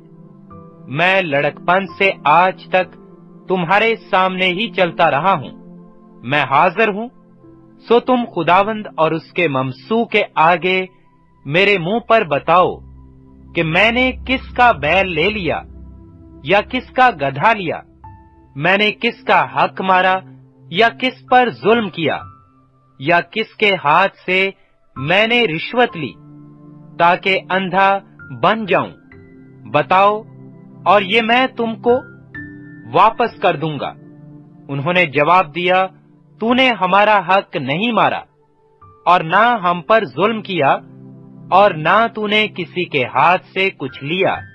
तब उसने उनसे कहा कि खुदावन तुम्हारा गवाह और उसका ममसू आज के दिन गवाह है कि मेरे पास तुम्हारा कुछ नहीं निकला। उन्होंने कहा, वो गवाह है।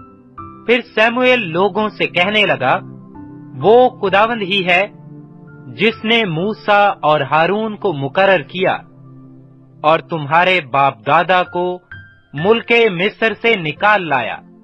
सो अब ठहरे रहो ताकि मैं खुदावंद के हजूर उन सब नेकियों के बारे में, जो खुदावंद ने तुमसे और तुम्हारे बाप दादा से की, गुफ्तगु करूँ।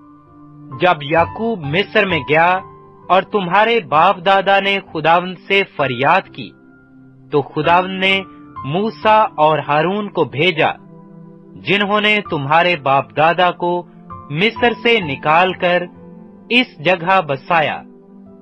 पर वो खुदावंद अपने खुदा को भूल गए। सो उसने उनको हसूर की फौज के सिप्पा सलार ससेरा के हाथ और फलिस्तियों के हाथ और शाह मुआब के हाथ बेच डाला, और वो उनसे लड़े। फिर उन्होंने खुदावन से फरियाद की और कहा कि हमने गुनाह किया, इसलिए कि हमने खुदावन को छोड़ा और बालेम और इस्तारात की प्रस्तिश की। पर अब तू हमको हमारे दुश्मनों के हाथ से छुड़ा तो हम तेरी प्रस्तिश करेंगे। सो खुदावन ने योरबाल और बदान और इफ्ता और सैमुएल को भेजा और तुमको तुम्हारे दुश्मनों के हाथ से, जो तुम्हारी चारों तरफ़ थे रिहाई दी। और तुम चैन से रहने लगे। और जब तुमने देखा कि बनी अमून का बादशाह नाहस तुम पर चढ़ आया तो तुमने मुझसे कहा कि हम पर कोई बादशाह सल्तनत करे। हालाँकि खुदावन तुम्हारा खुदा, तुम्हारा बादशाह था। सो अब उस बादशाह को देखो, जिसे तुमने चुन लिया और जिसके लिए तुमने दुर्खास्त की थी। देखो, खुदावन ने तुम पर बादशाह मुकर्र कर दिया है। अगर तुम खुदावन से डरते और उसकी प्रस्तश करते और उसकी बात मानते रहो और खुदावन के हुक्म से सरकशी ना करो और तुम और वो बादशाह भी, जो तुम पर सल्तनत करता है, खुदावंद अपने खुदा के पैरों बने रहो। तो खैर, पर अगर तुम खुदावंद की बात ना मानो, बल्कि खुदावंद के हुक्म से सरकशी करो तो खुदावंद का हाथ तुम्हारे खिलाफ होगा, जैसे वो तुम्हारे बाप दादा के खिलाफ होता था।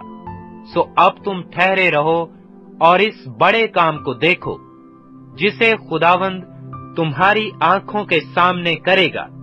क्या आज गेहूँ काटने का दिन नहीं? मैं खुदावंद से अर्ज़ करूँगा कि बादल गरजे और पानी बरसे, और तुम जान लोगे और देख भी लोगे कि तुमने खुदावंद के हजूर अपने लिए बादशाह मांगने से कितनी बड़ी शरारत की। चुनाचे सैमुएल ने खुदावंद से अर्ज़ की और खुदावंद की तरफ़ से उसी दिन बादल गरजा और पानी बरसा। तब सब लोग खुदावंद और सैमुएल से नहायत डर गए और सब लोगों ने सैमुएल से कहा कि अपने खादिमों के लिए खुदावंद अपने खुदा से दुआ कर कि हम मर न जाएँ, क्योंकि हमने अपने सब गुनाहों पर ये शरारत भी बढ़ा दी है। कि अपने लिए एक बादशाह मांगा। सैमुएल ने लोगों से कहा खौफ न करो। ये सब शरारत तो तुमने की है। तो भी खुदावंत की पैरवी से कनारा कशी ना करो बल्कि अपने सारे दिल से खुदावंत की प्रस्तश करो। तुम किनारा कशी ना करना वरना बातिल चीज़ों की पैरवी करने लगोगे। जो ना फ़ायदा पहुँचा सकती हैं, ना रिहाई दे सकती हैं, इसलिए कि वो सब बातिल हैं क्योंकि खुदावंद अपने बड़े नाम के बायस अपने लोगों को तर्क नहीं करेगा। इसलिए कि खुदावंद को यही पसंद आया कि तुमको अपनी कौम बनाए। अब रहा मैं सो खुदा न करे कि तुम्हारे लिए दुआ करने से बाज आकर खुदावंद का गुनहगार ठहरूं बल्कि मैं वही राह जो अच्छी और सीधी है, तुमको बताऊँगा। फक्त इतना हो कि तुम खुदावंद से डरो और अपने सारे दिल और सच्चाई से उसकी इबादत करो। क्योंकि सोचो कि उसने तुम्हारे लिए कैसे बड़े काम किए हैं। पर अगर तुम अभी भी शरारत ही करते जाओ तो तुम और तुम्हारा बादशाह दोनों के दोनों नाबूद कर दिए जाओगे। पहला सैमुएल, तेरवा बाब। साउल तीस बरस की उम्र में सल्तनत करने लगा और इसराइल पर दो बरस सल्तनत कर चुका। तो साउल ने तीन हज़ार इसराइली मर्द अपने लिए चुने। उनमें से दो हज़ार मिकमास में और बैतिल के पहाड़ पर साउल के साथ और एक हज़ार बिनियामीन के जुब्बा में योनन के साथ रहे और बाकी लोगों को उसने रुखसत किया कि अपने अपने डेरे को जाएँ और यूनतन ने फिलिस्तियों की चौकी के सिपाहियों को, जो जिबा में थे, कत्ल कर डाला और फिलिस्तियों ने ये सुना और साउल ने सारे मुल्क में नरसिंगा फूंकवा कर कहला भेजा कि इब्रानी लोग सुने। और सारे इसराइल ने ये कहते सुना कि साउल ने फलिस्तियों की चौकी के सिपाही मार डाले। और ये भी कि इसराइल से फिलिस्तियों को नफरत हो गई है। सो लोग साउल के पीछे चलकर जजाल में जमा हो गए और फिलिस्ती इसराइलियों से लड़ने को इकट्ठे हुए। यानी तीस हज़ार रथ और छह हज़ार सवार और एक अम्बुआ कसीर जैसे समुन्दर के किनारे की रेत। सो वो चढ़ आए और मिकमास में बैत ओन के मशरक की तरफ़ खैमाजन हुए। जब बनी इसराइल ने देखा कि वो आफत में मुब्तला हो गए, क्योंकि लोग परेशान थे तो वो गारों और झाड़ियों और चट्टानों और घड़ियों और घड़ों में जा छुपे। और बाज इब्रानी यर्दन के पार, जद और जलाद के इलाका को चले गए। पर साउल जजाल ही में रहा और सब लोग कांपते हुए उसके पीछे पीछे रहे और वो वहाँ सात दिन सैमुएल के मुकर्रा वक्त के मुताबिक ठहरा रहा। पर सैमुएल जेजाल में ना आया और लोग उसके पास से इधर उधर हो गए। तब साउल ने कहा, सोख्तनी कुर्बानी और सलामती की कुर्बानियों को मेरे पास लाओ। सो उसने सोख्तनी कुर्बानी गुजरानी, और जू ही वो सोख्तनी कुर्बानी गुजरान चुका तो क्या देखता है कि सैमुएल आ पहुँचा, और साउल उसके इस्तकबाल को निकला ताकि उसे सलाम करे। सैमुएल ने पूछा, कि तूने क्या किया? साउल ने जवाब दिया कि जब मैंने देखा कि लोग मेरे पास से इधर उधर हो गए और तू ठहराए हुए दिनों के अंदर नहीं आया और फिलिस्ती मिकमास में जमा हो गए हैं तो मैंने सोचा कि फिलिस्ती जजाल में मुझ पर आ पड़ेंगे और मैंने खुदावंत के कर्म के लिए अब तक दुआ भी नहीं की है। इसलिए मैंने मजबूर होकर सोख्तनी कुर्बानी गुजरानी। सैमुएल ने साउल से कहा, तूने बेवकूफ़ी की। तूने खुदावंद अपने खुदा के हुक्म को, जो उसने तुझे दिया नहीं माना। वरना खुदावंद तेरी सल्तनत बनी इसराइल में हमेशा तक कायम रखता। लेकिन अब तेरी सल्तनत कायम ना रहेगी, क्योंकि खुदा ने एक शख्स को जो उसके दिल के मुताबिक है, तलाश कर लिया है। और खुदावन ने उसे अपनी कौम का पेशवा ठहराया है। इसलिए कि तूने वो बात नहीं मानी, जिसका हुक्म खुदावन ने तुझे दिया था। और सैमुएल उठकर जेजाल से बिनियामीन के जब्बा को गया। तब साउल ने उन लोगों को, जो उसके साथ हाजिर थे, गिना और वो करीबन छह सौ थे। और साउल और उसका बेटा यूनतन और उनके साथ के लोग बिनियामीन के जेबा में रहे। लेकिन फलिस्ती मिकमास में खैमजन थे। और गारतगर फिलिस्तियों के लश्कर में से तीन गौल होकर निकले। एक गौल तो सुआल के इलाका को अफूरा की राह से गया और दूसरे गौल ने बैते होरोन की राह ली और तीसरे गौल ने उस सरहद की राह ली जिसका रुख वादिये जबोएम की तरफ़ दश्त के सामने है। और इसराइल के सारे मुल्क में कहीं लोहार नहीं मिलता था, क्योंकि फिलिस्तियों ने कहा था कि इब्रानी लोग अपने लिए तलवारें और भाले ना बनाने पाए। सो सब इसराइली अपनी अपनी भाली और भाले और कुल्हाड़ी और कुधाल को तेज कराने के लिए फिलिस्तियों के पास जाते थे। पर गुधालों और फालियों और कांटों और कुल्हाड़ों के लिए और पन्नियों के दुरुस्त करने के लिए वो रेती रखते थे। सो लड़ाई के दिन साउल और यूनतन के साथ के लोगों में से किसी के हाथ में ना तो तलवार थी, ना भाला। लेकिन साउल और उसके बेटे यूनतन के पास तो ये थे। और फलिस्तियों की चौकी के सिपाही निकलकर मिकमास की घाटी को गए। पहला सैमुएल, चौदवा बाब। और एक दिन ऐसा हुआ कि साउल के बेटे यूनतन ने उस जवान से जो उसका सिला बरदार था कहा कि आ हम फलिस्तियों की चौकी को, जो उस तरफ़ है चलें, पर उसने अपने बाप को ना बताया। और साउल जुब्बा के निकास पर, उस अनार के दरख्त के नीचे, जो मजरून में है मुकीम था। और करीबन 600 आदमी उसके साथ थे। और अखिया बिन अखितोब, जो यकूब बिन फखियास बिन एली का भाई और सेला में खुदावन का काहिन था, अफूद पहने हुए था, और लोगों को खबर ना थी कि यूनतन चला गया है, और उन घाटियों के बीच जिनसे होकर यूनतन फिलिस्तियों की चौकी को जाना चाहता था, एक तरफ़ एक बड़ी नुकीली चट्टान थी।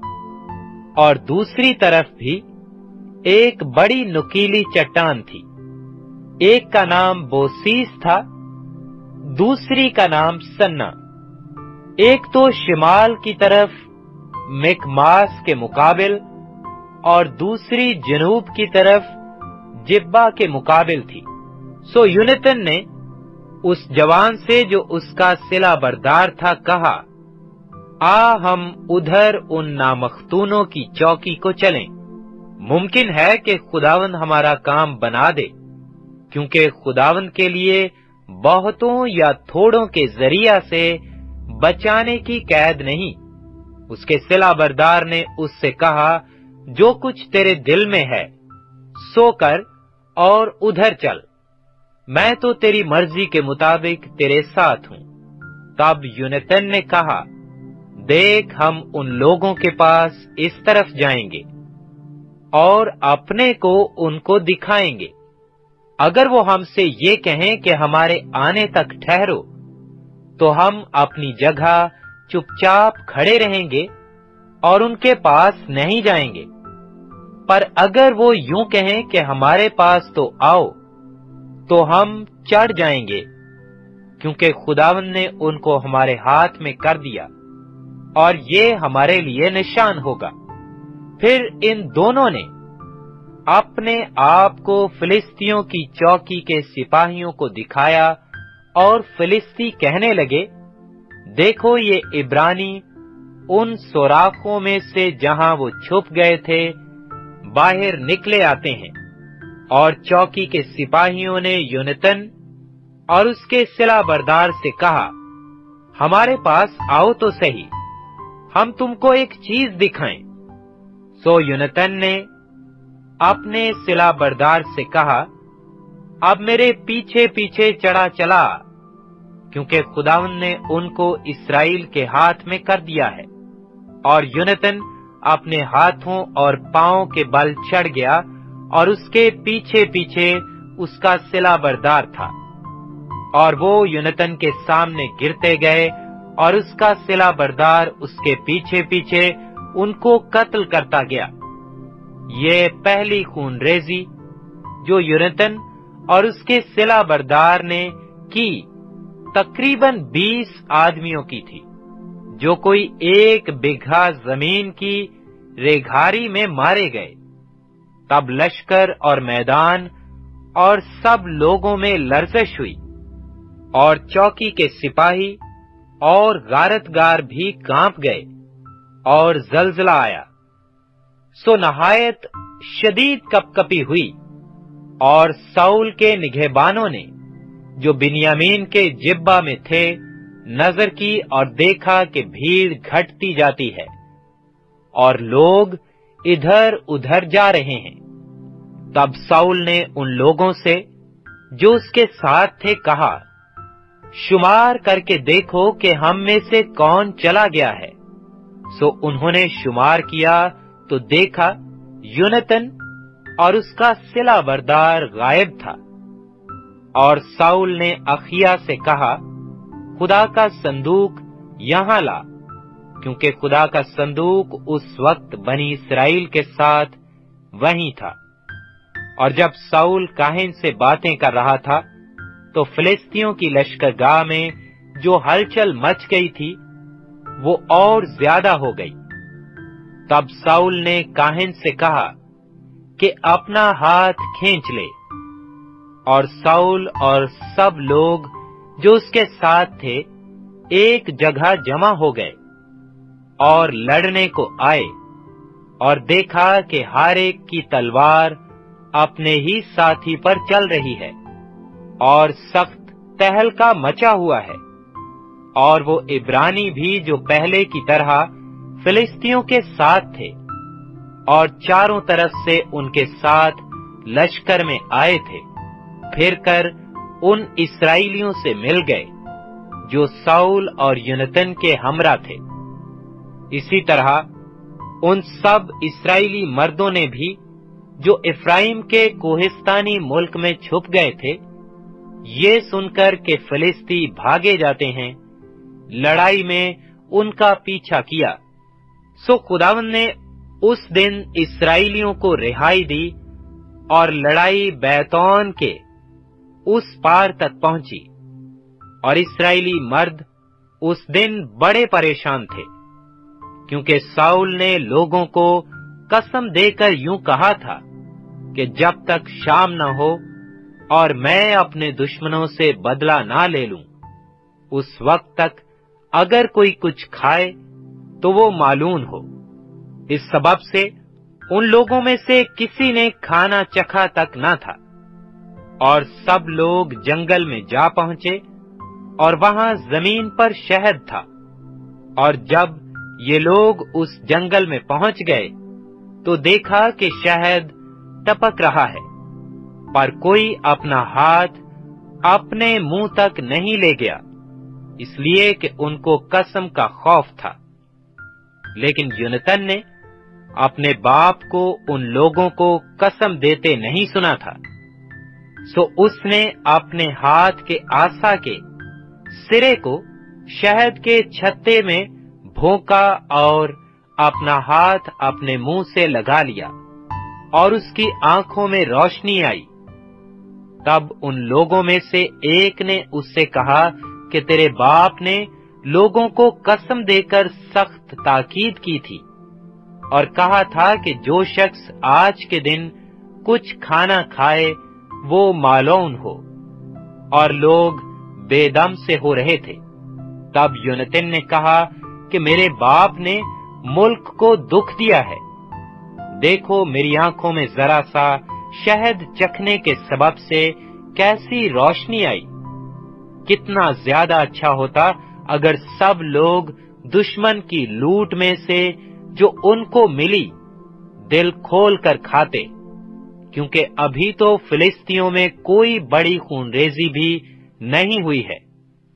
और उन्होंने उस दिन मिक्कास से अलेोन तक फिलिस्तियों को मारा और लोग बहुत ही बेदम हो गए। सो वो लोग लूट पर गिरे और भेड़ बकरियों और बैलों और बछड़ों को लेकर उनको ज़मीन पर जिबा किया और खून समेत खाने लगे। तब उन्होंने साउल को खबर दी कि देख लोग खुदावन का गुनाह करते हैं कि खून समेत खा रहे हैं। उसने कहा, तुमने बेईमानी की। सो एक बड़ा पत्थर आज मेरे सामने ढलका लाओ। फिर साउल ने कहा कि लोगों के दरमियान इधर उधर जाकर उनसे कहो कि हर शख्स अपना बैल और अपनी भेड़ यहाँ मेरे पास लाए और यहीं जिबा करे और खाए और खून समेत खाकर खुदावन का गुनहगार ना बने। चुनाचे उस रात लोगों में से हर शख्स अपना बैल वहीं लाया और वहीं जिबा किया। और साउल ने खुदावन के लिए एक मजबा बनाया। ये पहला मजबा है जो उसने खुदावन के लिए बनाया। फिर साउल ने कहा, आओ, रात ही को फिलिस्तियों का पीछा करें और पौ फटने तक उनको लूटें। और उनमें से एक मर्द को भी ना छोड़ें। उन्होंने कहा, जो कुछ तुझे अच्छा लगे सो कर। तब काहिन ने कहा कि, आओ, हम यहाँ खुदा के नज़दीक हाजिर हों। और साउल ने खुदा से मशवरत ली कि, क्या मैं फिलिस्तियों का पीछा करूँ? क्या तू उनको इसराइल के हाथ में कर देगा? पर उसने उस दिन उसे कुछ जवाब ना दिया। तब साउल ने कहा, कि तुम सब जो लोगों के सरदार हो, यहाँ नज़दीक आओ और तहकीक करो और देखो कि आज के दिन गुनाह क्यों कर हुआ। क्योंकि खुदावंत की हयात की कसम, जो इसराइल को रिहाई देता है, अगर वो मेरे बेटे यूनतन ही का गुनाह हो, वो ज़रूर मारा जाएगा। पर उन सब लोगों में से किसी आदमी ने उसको जवाब ना दिया। तब उसने सब इसराइलियों से कहा, तुम सब के सब एक तरफ़ हो जाओ और मैं और मेरा बेटा यूनतन दूसरी तरफ़ हो जाएँगे। लोगों ने साउल से कहा, जो तू मुनासिब जाने सो कर। तब साउल ने खुदावंद इसराइल के खुदा से कहा, हक को ज़ाहिर कर दे। सो चिट्ठी यूनतन और साउल के नाम पर निकली और लोग बच गए। तब साउल ने कहा कि मेरे और मेरे बेटे यूनतन के नाम पर कुर्रा डालो। तब यूनतन पकड़ा गया और साउल ने यूनतन से कहा, मुझे बता कि तूने क्या किया है? यूनतन ने उसे बताया, मैंने बेशक अपने हाथ के आसा के सिरे से जरा सा शहद चखा था। सो देख, मुझे मरना होगा। साउल ने कहा, खुदा ऐसा ही, बल्कि इससे भी ज़्यादा करे, क्योंकि ए यूनतन, तू ज़रूर मारा जाएगा। तब लोगों ने साउल से कहा, क्या यूनतन मारा जाए? जिसने इसराइल को ऐसा बड़ा छुटकारा दिया है, ऐसा ना होगा, खुदावन की हयात की कसम है। कि उसके सिर का एक बाल भी ज़मीन पर गिरने नहीं पाएगा, क्योंकि उसने आज खुदा के साथ होकर काम किया है। सो लोगों ने यूनतन को बचा लिया और वो मारा ना गया। और साउल फिलिस्तियों का पीछा छोड़कर लौट गया और फिलिस्ती अपने मुकाम को चले गए, जब साउल बनी इसराइल पर सल्तनत करने लगा। तो वो हर तरफ़ अपने दुश्मनों, यानी मुआब और बनी अमून और अदोम और सूबा के बादशाहों और फलिस्तियों से लड़ा और वो जिस जिस तरफ़ रजू होता, उनका बुरा हाल करता था और उसने बहादरी करके अमालीखियों को मारा और इसराइल को उनके हाथ से छुड़ाया, जो उनको लूटते थे। जब सऊल बनी इसराइल पर सल्तनत करने लगा तो वो हर तरफ़ अपने दुश्मनों, यानी मुआब और बनी अमून साउल के बेटे यूनतन और इसवी और मिलके यशुआ थे, और उसकी दोनों बेटियों के नाम ये थे। बड़ी का नाम मीरब और छोटी का नाम मीकल था, और साउल की बीवी का नाम अखियो नोइम था, जो अखी मियास की बेटी थी, और उसकी फौज के सरदार का नाम अब नैयर था, जो साउल के चचा नैयर का बेटा था, और साउल के बाप का नाम कैस था, और अब नैयर का बाप नैयर अबियल का बेटा था, और साउल की ज़िंदगी भर फिलिस्तियों से सख्त जंग रही। सो जब साउल किसी जोरावर मर्द या सूरमा को देखता था तो उसे अपने पास रख लेता था। पहला सैमुअल पंद्रवा बाब। और सैमुएल ने साउल से कहा कि खुदावन ने मुझे भेजा है कि मैं तुझे मसा करूँ, ताकि तू उसकी कौम इसराइल का बादशाह हो। सो अब तू खुदावन की बातें सुन। रब्बल अफवाज यूँ फरमाता है कि मुझे इसका ख्याल है कि अमालीक ने इसराइल से क्या किया। और जब ये मिस्र से निकल आए तो वो राह में उनका मुखालिफ होकर आया। सो अब तू जा और अमाली को मार, और जो कुछ उनका है, सबको बिल्कुल नाबूद कर दे, और उन पर रहम मत कर। बल्कि मर्द और औरत, नन्हे बच्चे और शीरखार गाय बैल और भेड़ बकरियाँ ऊँट और गधे सबको कत्ल कर डाल। चुनाचे साउल ने लोगों को जमा किया और तेलाइम में उनको गिना। सो वो दो लाख प्यादे और यहूदा के दस हज़ार मर्द थे। और साउल अमालीक के शहर को आया और वादी के बीच घात लगाकर बैठा। और साउल ने कैनियों से कहा कि तुम चल दो, अमालीकियों के बीच से निकल जाओ। ता ना हो कि मैं तुमको उनके साथ हलाक कर डालूं। इसलिए कि तुम सब इसराइलियों से, जब वो मिस्र से निकल आए, महर के साथ पेश आए। सो कियानी अमालिकियों में से निकल गए। और साउल ने अमालिकियों को हवेला से शोर तक, जो मिस्र के सामने है, मारा। और अमालिकियों के बादशाह अजाज को जीता पकड़ा, और सब लोगों को तलवार की धार से नेस्त कर दिया।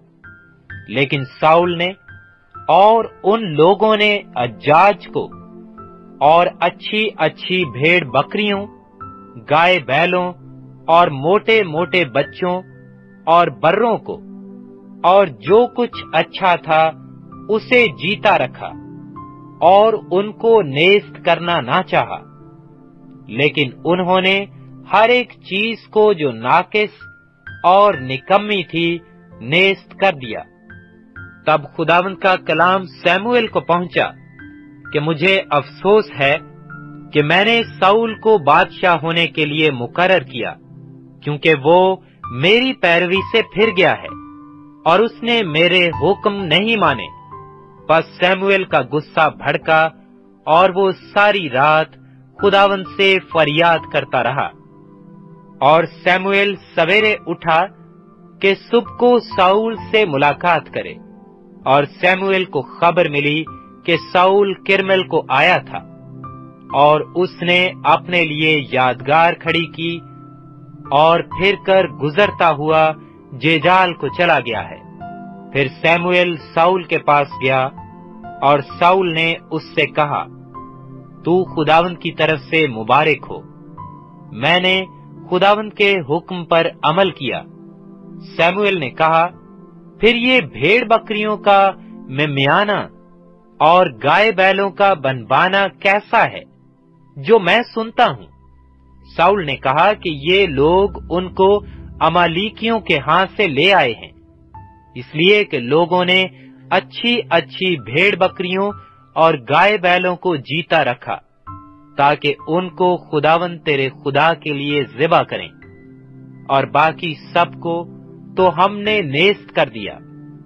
तब सैमुएल ने साउल से कहा ठहर जा। और जो कुछ खुदावन ने आज की रात मुझसे कहा है, वो मैं तुझे बताऊँगा। उसने कहा, बताइए।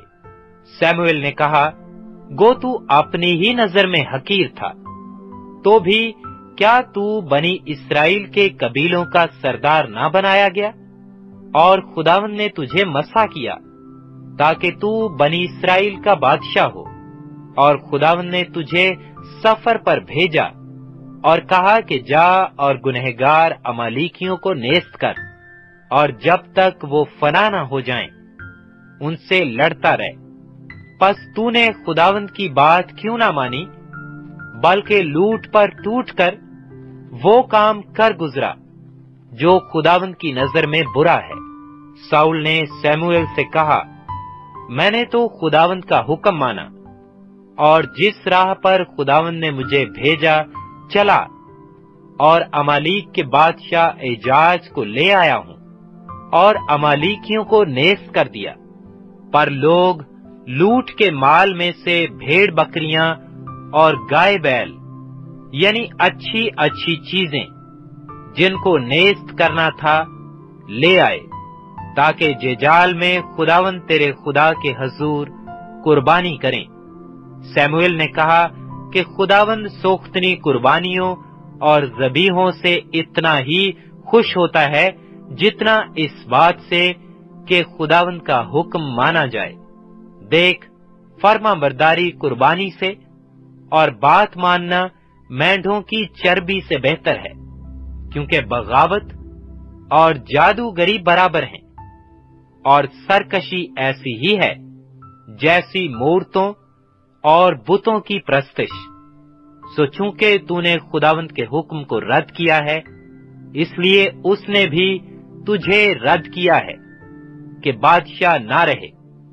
साउल ने सैमुएल से कहा, मैंने गुनाह किया कि मैंने खुदावंत के फरमान को और तेरी बातों को टाल दिया है, क्योंकि मैं लोगों से डरा और उनकी बात सुनी।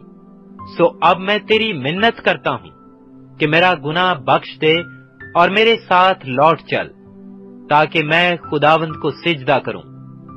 सैमुएल ने साउल से कहा, मैं तेरे साथ नहीं लौटूँगा, क्योंकि तूने खुदावंत के कलाम को रद्द किया है, और खुदावंत ने तुझे रद्द किया कि इसराइल का बादशाह ना रहे, और जैसे ही सैमुएल जाने को मुड़ा साउल ने उसके हुब्बा का दामन पकड़ लिया और वो चाक हो गया।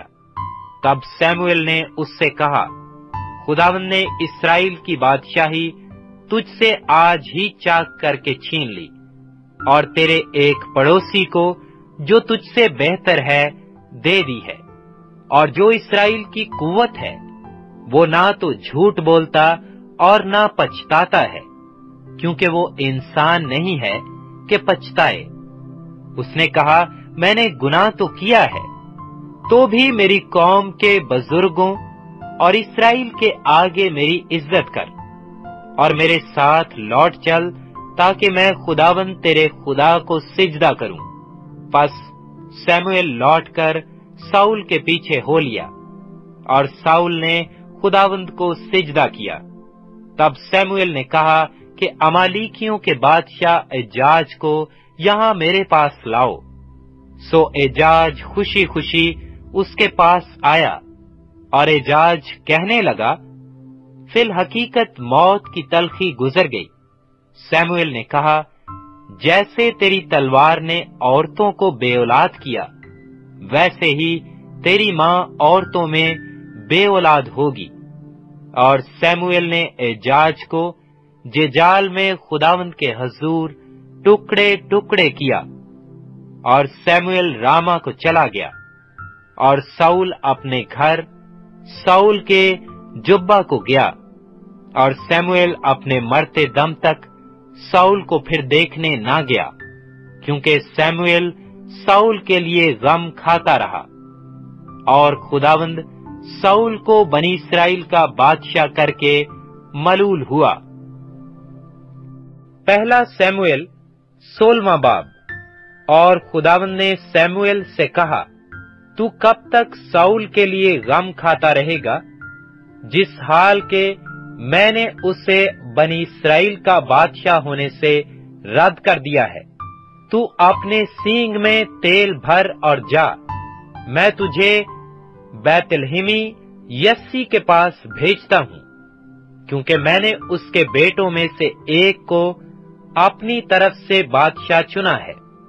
सैमुएल ने कहा, मैं क्यों कर जाऊँ? अगर साउल सुन लेगा तो मुझे मार ही डालेगा।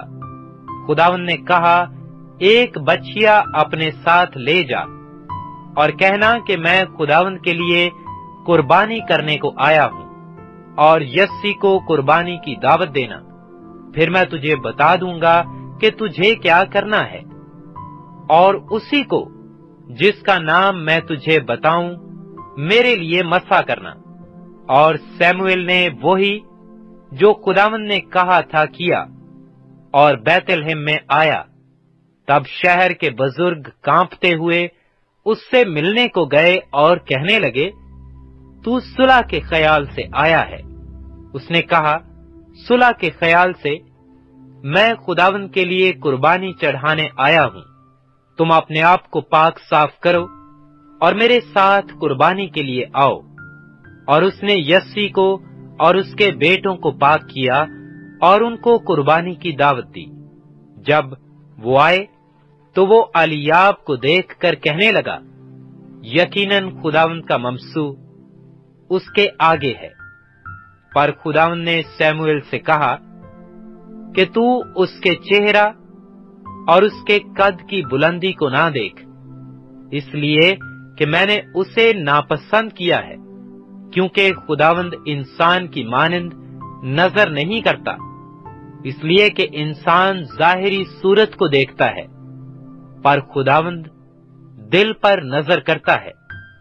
तब यस्सी ने अभी नद्दाब को बुलाया और उसे सैमुएल के सामने से निकाला। उसने कहा खुदावंद ने इसको भी नहीं चुना। फिर यस्सी ने सम्मा को आगे किया। उसने कहा खुदावंद ने इसको भी नहीं चुना।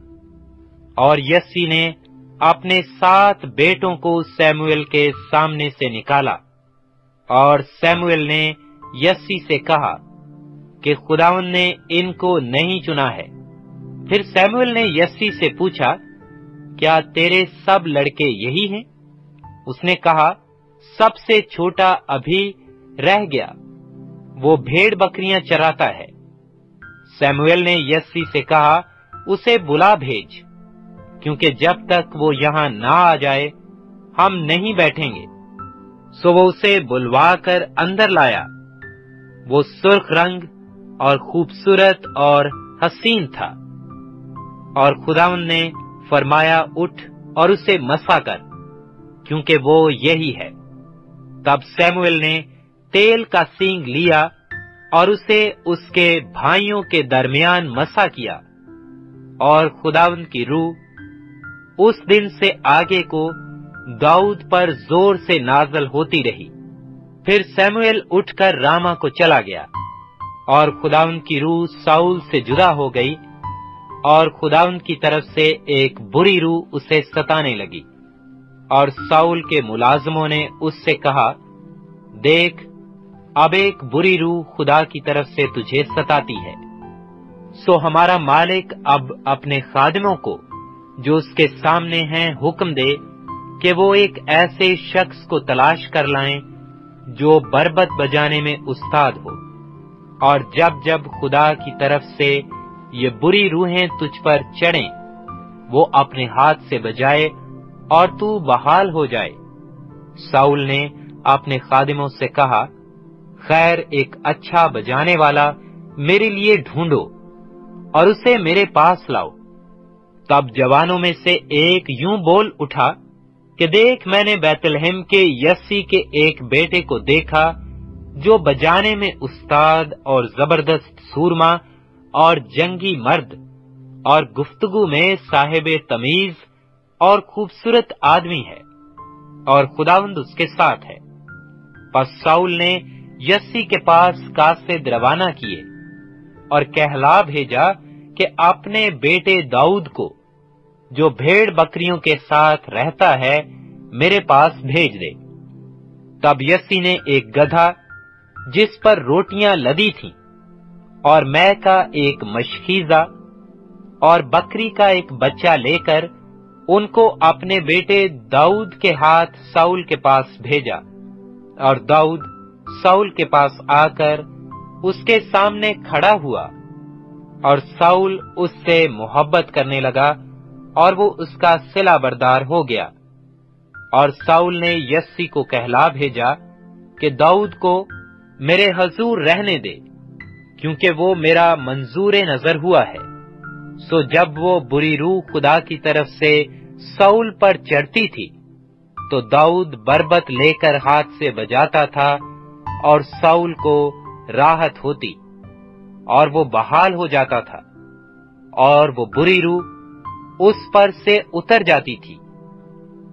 पहला सैमुएल सत्रह बाब फिर फिलिस्तियों ने जंग के लिए अपनी फौजें जमा की और यहूदा के शहर शौका में फराहम हुए और शौका और अजकिया के दरमियान अफसद मियम में खैमाजन हुए और साउल और इसराइल के लोगों ने जमा होकर एला की वादी में डेरे डाले और लड़ाई के लिए फलिस्तियों के मुकाबिल सफराई की और एक तरफ़ के पहाड़ पर फलिस्ती और दूसरी तरफ़ के पहाड़ पर बनी इसराइल खड़े हुए और इन दोनों के दरमियान वादी थी और फिलिस्तियों के लश्कर से एक पहलवान निकला, जिसका नाम जाति जूलियत था।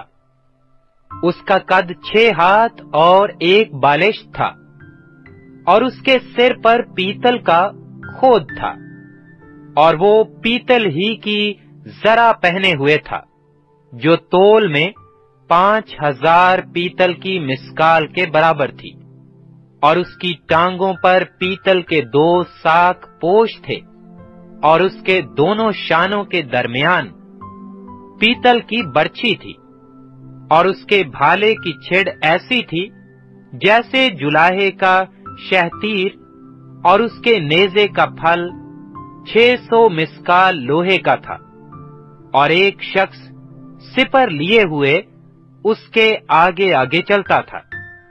वो खड़ा हुआ और इसराइल के लश्करों को पुकार कर उनसे कहने लगा कि तुमने आकर जंग के लिए क्यों सफराई की?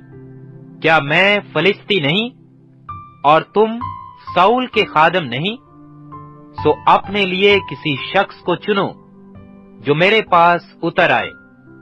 अगर वो मुझसे लड़ सके और मुझे कत्ल कर डाले तो हम तुम्हारे खादिम हो जाएँगे।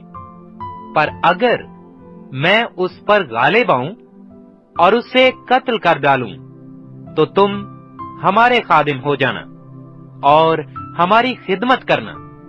फिर उस फिलिस्ती ने कहा कि मैं आज के दिन इसराइली फौजों की वसीयत करता हूँ। कोई मर्द निकालो ताकि हम लड़ें।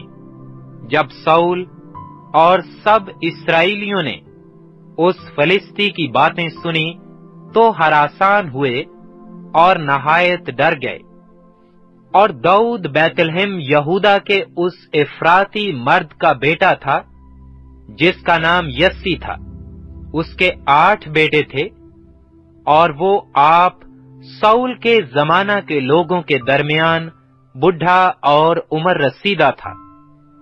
और यस्सी के तीन बड़े बेटे साउल के पीछे पीछे जंग में गए थे और उसके तीनों बेटों के नाम जो जंग में गए थे ये थे। अलियाब, जो पहलोठा था, दूसरा अबिनदाब और तीसरा समा और दाऊद सबसे छोटा था और तीनों बड़े बेटे साउल के पीछे पीछे थे और दाऊद बैतलहेम में अपने बाप की भेड़ बकरियाँ चराने को साउल के पास से आया जाया करता था। और वो फिलिस्ती सुबह और शाम नज़दीक आता और चालीस दिन तक निकलकर आता रहा। और यस्सी ने अपने बेटे दाऊद से कहा कि इस भुने अनाज में से एक ऐफा और ये दस रोटियाँ अपने भाइयों के लिए लेकर उनको जल्द लश्करगाह में अपने भाइयों के पास पहुँचा दे और उनके हजारी सरदार के पास पनीर की ये दस टिक्कियाँ ले जा और देख के तेरे भाइयों का क्या हाल है। और उनकी कुछ निशानी ले आ। और साउल और वो भाई और सब इसराइली मर्द एला की वादी में फिलिस्तियों से लड़ रहे थे। और दाऊद सुबह को सवेरे उठा और भेड़ बकरियों को एक निगेबान के पास छोड़कर यस्सी के हुक्म के मुताबिक सब कुछ लेकर रवाना हुआ। और जब वो लश्कर जो लड़ने जा रहा था, जंग के लिए ललकार रहा था, उस वक्त वो छकड़ों के पड़ाव में पहुँचा और इसराइलियों और फलिस्तियों ने अपने अपने लश्कर को आमने सामने करके सफराई की, और दाऊद अपना सामान असबाब के निगेबान के हाथ में छोड़कर आप लश्कर में दौड़ गया और जाकर अपने भाइयों से खैरो आफियत पूछी। और वो उनसे बातें करता ही था कि देखो वो पहलवान जात का फिलिस्ती, जिसका नाम जूलियत था। फिलिस्ती सफों में से निकला। और उसने फिर वैसी ही बातें की और दाऊद ने उनको सुना। और सब इसराइली मर्द उस शख्स को देखकर उसके सामने से भागे और बहुत डर गए। तब इसराइली मर्द यूँ कहने लगे, तुम इस आदमी को जो निकला है देखते हो? यकीनन ये इसराइल की फसीहत करने को आया है। सो जो कोई उसको मार डाले उसे बादशाह बड़ी दौलत से नेहाल करेगा और अपनी बेटी उसे ब्याह देगा और उसके बाप के घराने को इसराइल के दरमियान आज़ाद कर देगा। और दाऊद ने उन लोगों से जो उसके पास खड़े थे, पूछा कि जो शख्स इस फलिस्ती को मारकर ये नंग इसराइल से दूर करे, उससे क्या सलूक किया जाएगा? क्योंकि ये नामख्तून फलिस्ती होता कौन है कि वो ज़िंदा खुदा की फौजों की फसीहत करे? और लोगों ने उसे यही जवाब दिया कि उस शख्स से जो उसे मार डाले, ये ये सलूक किया जाएगा। और उसके सबसे बड़े भाई अलियाब ने उसकी बातों को जो वो लोगों से करता था सुना। और अलियाब का गुस्सा दाऊद पर भड़का और वो कहने लगा तू यहाँ क्यों आया है? और वो थोड़ी सी भेड़ बकरियाँ तूने जंगल में किसके पास छोड़ी? मैं तेरे घुमंड और तेरे दिल की शरारत से वाकिफ हूँ। तू लड़ाई देखने आया है। दाऊद ने कहा, मैंने अब क्या किया? क्या बात ही नहीं हो रही है? और वो उसके पास से फिरकर दूसरे की तरफ़ गया और वैसी ही बातें करने लगा और लोगों ने उसे फिर पहले की तरह जवाब दिया। और जब वो बातें जो दाऊद ने की सुनने में आई तो उन्होंने साउल के आगे उनका चर्चा किया और उसने उसे बुला भेजा। और दाऊद ने साउल से कहा कि उस शख्स के सबब से किसी का दिल न घबराए। तेरा खादिम जाकर उस फलिस्ती से लड़ेगा।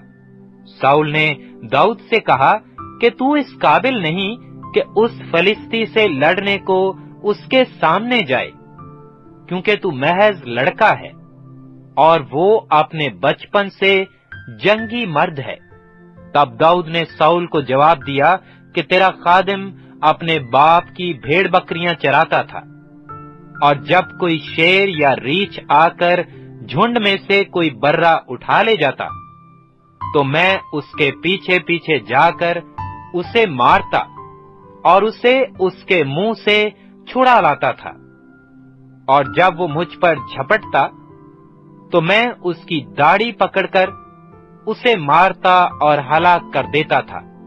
तेरे खादिम ने शेर और रीछ दोनों को जान से मारा। सो ये नामख्तून फिलिस्ती उनमें से एक की मानंद होगा। इसलिए कि उसने ज़िंदा खुदा की फौजों की फसीहत की है। फिर दाऊद ने कहा कि खुदावन ने मुझे शेर और रीछ के पंजा से बचाया। वही मुझको इस फलिस्ती के हाथ से बचाएगा। साउल ने दाऊद से कहा, जा, खुदावन तेरे साथ रहे। तब साउल ने अपने कपड़े दाऊद को पहनाए और पीतल का खोद उसके सिर पर रखा और उसे जरा भी पहनाई। और दाऊद ने उसकी तलवार अपने कपड़ों पर कस ली और चलने की कोशिश की, क्योंकि उसने उनको आजमाया नहीं था। तब दाऊद ने साउल से कहा, मैं इनको पहनकर चल नहीं सकता, क्योंकि मैंने इनको आजमाया नहीं है। सो दाऊद ने उन सबको उतार दिया और उसने अपनी लाठी अपने हाथ में ली। और उस नाला से पाँच चिकने चिकने पत्थर अपने वास्ते चुनकर उनको चरवाहे के थैले में, जो उसके पास था, यानी झोले में डाल लिया। और उसका फलाखन उसके हाथ में था। फिर वो उस फलिस्ती के नज़दीक चला। और वो फलिस्ती भड़ा और दाऊद के नज़दीक आया, और उसके आगे आगे उसका सिपर बरदार था। और जब उस फलिस्ती ने इधर उधर निगाह की और दाऊद को देखा तो उसे नाचीज जाना, क्योंकि वो महज लड़का था और सुर्खरो और नाजुक चेहरे का था। सो फलिस्ती ने दाऊद से कहा, क्या मैं कुत्ता हूँ जो तू लाठी लेकर मेरे पास आता है? और उस फलिस्ती ने अपने देवताओं का नाम लेकर दाऊद पर लानत की। और उस फलिस्ती ने दाऊद से कहा, तू मेरे पास आ, और मैं तेरा गोश्त, हवाई परिंदों और जंगली दरिंदों को दूँगा। और दाऊद ने उस फलिस्ती से कहा, कि तू तलवार, भाला और बर्ची लिए हुए मेरे पास आता है, पर मैं रब्बल अफवाज के नाम से, जो इसराइल के लश्करों का खुदा है, जिसकी तूने फसीहत की है तेरे पास आता हूँ। और आज ही के दिन खुदावन तुझको मेरे हाथ में कर देगा, और मैं तुझको मार कर तेरा सिर तुझ पर से उतार लूँगा। और मैं आज के दिन फलिस्तियों के लश्कर की लाशें, हवाई परिंदों और ज़मीन के जंगली जानवरों को दूँगा, ताकि दुनिया जान ले कि इसराइल में एक खुदा है। और ये सारी जमायत जान ले कि खुदावन तलवार और भाले के ज़रिया से नहीं बचाता। इसलिए कि जंग तो खुदावन की है, और वही तुमको हमारे हाथ में कर देगा। और ऐसा हुआ कि जब वो फिलिस्ती उठा और भड़कर दाऊद के मुकाबला के लिए नज़दीक आया तो दाऊद ने जल्दी की और लश्कर की तरफ़ उस फिलिस्ती से मुकाबला करने को दौड़ा। और दाऊद ने अपने थैले में अपना हाथ डाला और उसमें से एक पत्थर लिया और फलाखन में रखकर उस फलिस्ती के माथे पर मारा और वो पत्थर उसके माथे के अंदर घुस गया और वो ज़मीन पर मुँह के बल गिर पड़ा। सो दाऊद उस फलाखन और एक पत्थर से उस फलिस्ती पर गालिब आया और उस फलिस्ती को मारा और कत्ल किया। और दाऊद के हाथ में तलवार ना थी। और दाऊद दौड़कर उस फलिस्ती के ऊपर खड़ा हो गया और उसकी तलवार पकड़कर मयान से खींची और उसे कत्ल किया और उसी से उसका सिर काट डाला। और फिलिस्तियों ने जो देखा कि उनका पहलवान मारा गया तो वो भागे। और इसराइल और यहूदा के लोग उठे और ललकार कर फिलिस्तियों को, गई और अक्रून के फाटकों तक रेख दा और फिलिस्तियों में से जो जख्मी हुए थे, वो शरियम के रास्ता में और जात और अक्रून तक गिरते गए। तब बनी इसराइल फिलिस्तियों के ताकुब से उल्टे फिरे और उनके खैमों को लूटा, और दाऊद उस फिलिस्ती का सिर लेकर उसे यरूशलेम में लाया और उसके हथियारों को उसने अपने डेरे में रख दिया। जब साउल ने दाऊद को उस फलिस्ती का मुकाबला करने के लिए जाते देखा तो उसने लश्कर के सरदार अभिनयर से पूछा अभिनयर ये लड़का किसका बेटा है? अभिनयर ने कहा, ए बादशाह, तेरी जान की कसम मैं नहीं जानता। तब बादशाह ने कहा तू तहकीक कर कि ये नौजवान किसका बेटा है। और जब दाऊद उस फलिस्ती को कत्ल करके फिरा तो अभिनयर उसे लेकर साउल के पास लाया, और फलिस्ती का सिर उसके हाथ में था। तब साउल ने उससे कहा ए जवान, तू किसका बेटा है? दाऊद ने जवाब दिया, मैं तेरे खादम बैतल लहमी यस्सी का बेटा हूँ। पहला सैमुएल, अठारवा बाब।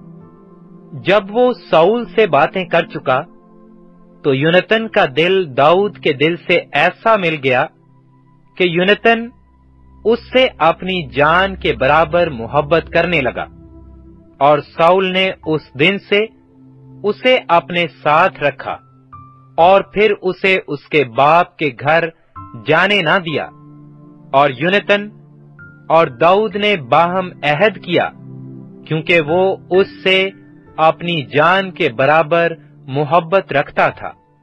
तब यूनतन ने वो कबा जो वो पहने हुए था उतार कर दाऊद को दी, और अपनी पोशाक बल्कि अपनी तलवार और अपनी कमान और अपना कमरबंद तक दे दिया, और जहाँ कहीं साउल दाऊद को भेजता वो जाता और अकलमंदी से काम करता था, और साउल ने उसे जंगी मर्दों पर मुकर्र कर दिया। और ये बात सारी कौम की और साउल के मुलाजिमों की नज़र में अच्छी थी। जब दाऊद उस फिलिस्ती को कत्ल करके लौटा आता था, और वो सब भी आ रहे थे तो इसराइल के सब शहरों से औरतें गाती और नाचती हुई दफों और खुशी के नारों और बाजों के साथ साउल बादशाह के इस्तकबाल को निकली और वो औरतें नाचती हुई आपस में गाती जाती थीं कि साउल ने तो हज़ारों को पर दाऊद ने लाखों को मारा और साउल नहायत खफा हुआ क्योंकि वो बात उसे बुरी लगी और वो कहने लगा कि उन्होंने दाऊद के लिए तो लाखों और मेरे लिए फक्त हज़ारों ही ठहराए। सो बादशाही के सिवा उसे और क्या मिलना बाकी है? सो उस दिन से आगे को साउल दाऊद को बदगुमानी से देखने लगा। और दूसरे दिन ऐसा हुआ कि खुदा की तरफ़ से बुरी रूह सऊल पर ज़ोर से नाजल हुई और वो घर के अंदर नबूवत करने लगा और दाऊद रोज की तरह अपने हाथ से बजा रहा था। और साउल अपने हाथ में अपना भाला लिए था। तब साउल ने भाला चलाया, क्योंकि उसने कहा कि मैं दाऊद को दीवार के साथ छिदवा दूँगा, और दाऊद उसके सामने से दो बार हट गया। सो साउल दाऊद से डरा करता था, क्योंकि खुदावंद उसके साथ था, और साउल से जुदा हो गया था। इसलिए साउल ने उसे अपने पास से जुदा करके उसे हज़ार जवानों का सरदार बना दिया, और वो लोगों के सामने आया जाया करता था, और दाऊद अपनी सब राहों में दानाई के साथ चलता था, और खुदावंद उसके साथ था। जब साउल ने देखा कि वो अकलमंदी से काम करता है तो वो उससे खौफ खाने लगा। पर तमाम इसराइल और यहूदा के लोग दाऊद को प्यार करते थे, इसलिए कि वो उनके सामने आया जाया करता था। तब साउल ने दाऊद से कहा कि देख, मैं अपनी बड़ी बेटी मेरब को तुझसे ब्याह दूँगा।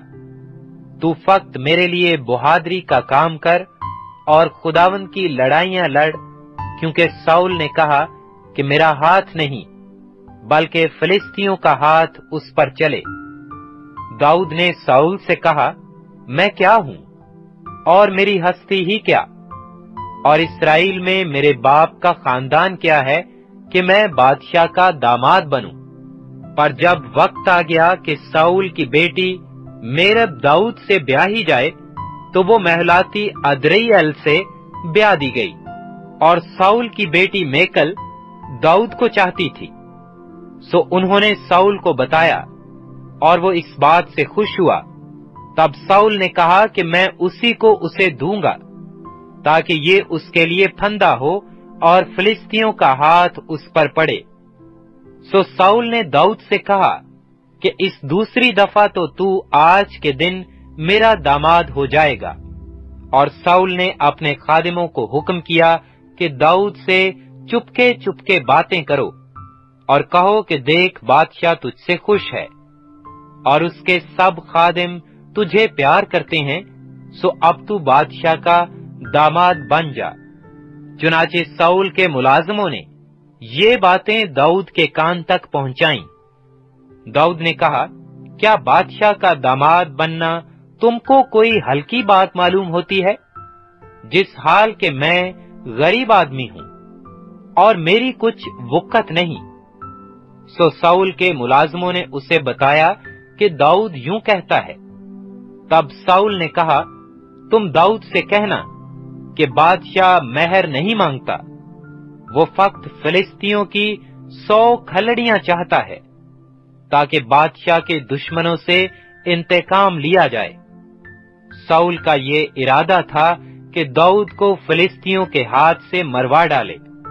जब उसके खादिमों ने ये बातें दाऊद से कही तो दाऊद बादशाह का दामाद बनने को राज़ी हो गया, और हनूज दिन पूरे भी नहीं हुए थे कि दाऊद उठा और अपने लोगों को लेकर गया और 200 फिलिस्ती कत्ल कर डाले और दाऊद उनकी खलड़ियाँ लाया और उन्होंने उनकी पूरी तादाद में बादशाह को दिया ताकि वो बादशाह का दामाद हो और साउल ने अपनी बेटी मेकल उसे ब्याह दी। और साउल ने देखा और जान लिया कि खुदावंद दाऊद के साथ है। और साउल की बेटी मेकल उसे चाहती थी। और साउल दाऊद से और भी डरने लगा। और साउल बराबर दाऊद का दुश्मन रहा। फिर फिलिस्तियों के सरदारों ने धावा किया। और जब जब उन्होंने धावा किया, साउल के सब खादिमों की निस्बत, दाऊद ने ज़्यादा दानाई का काम किया। इससे उसका नाम बहुत बड़ा हो गया। पहला सैमुएल उन्नीसवां बाब। और साउल ने अपने बेटे यूनतन और अपने सब खादिमों से कहा कि दाऊद को मार डालो। लेकिन साउल का बेटा यूनतन दाऊद से बहुत खुश था।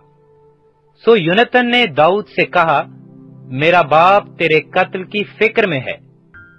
इसलिए तू सुबह को अपना ख्याल रखना और किसी पोशीदा जगह में छुपे रहना।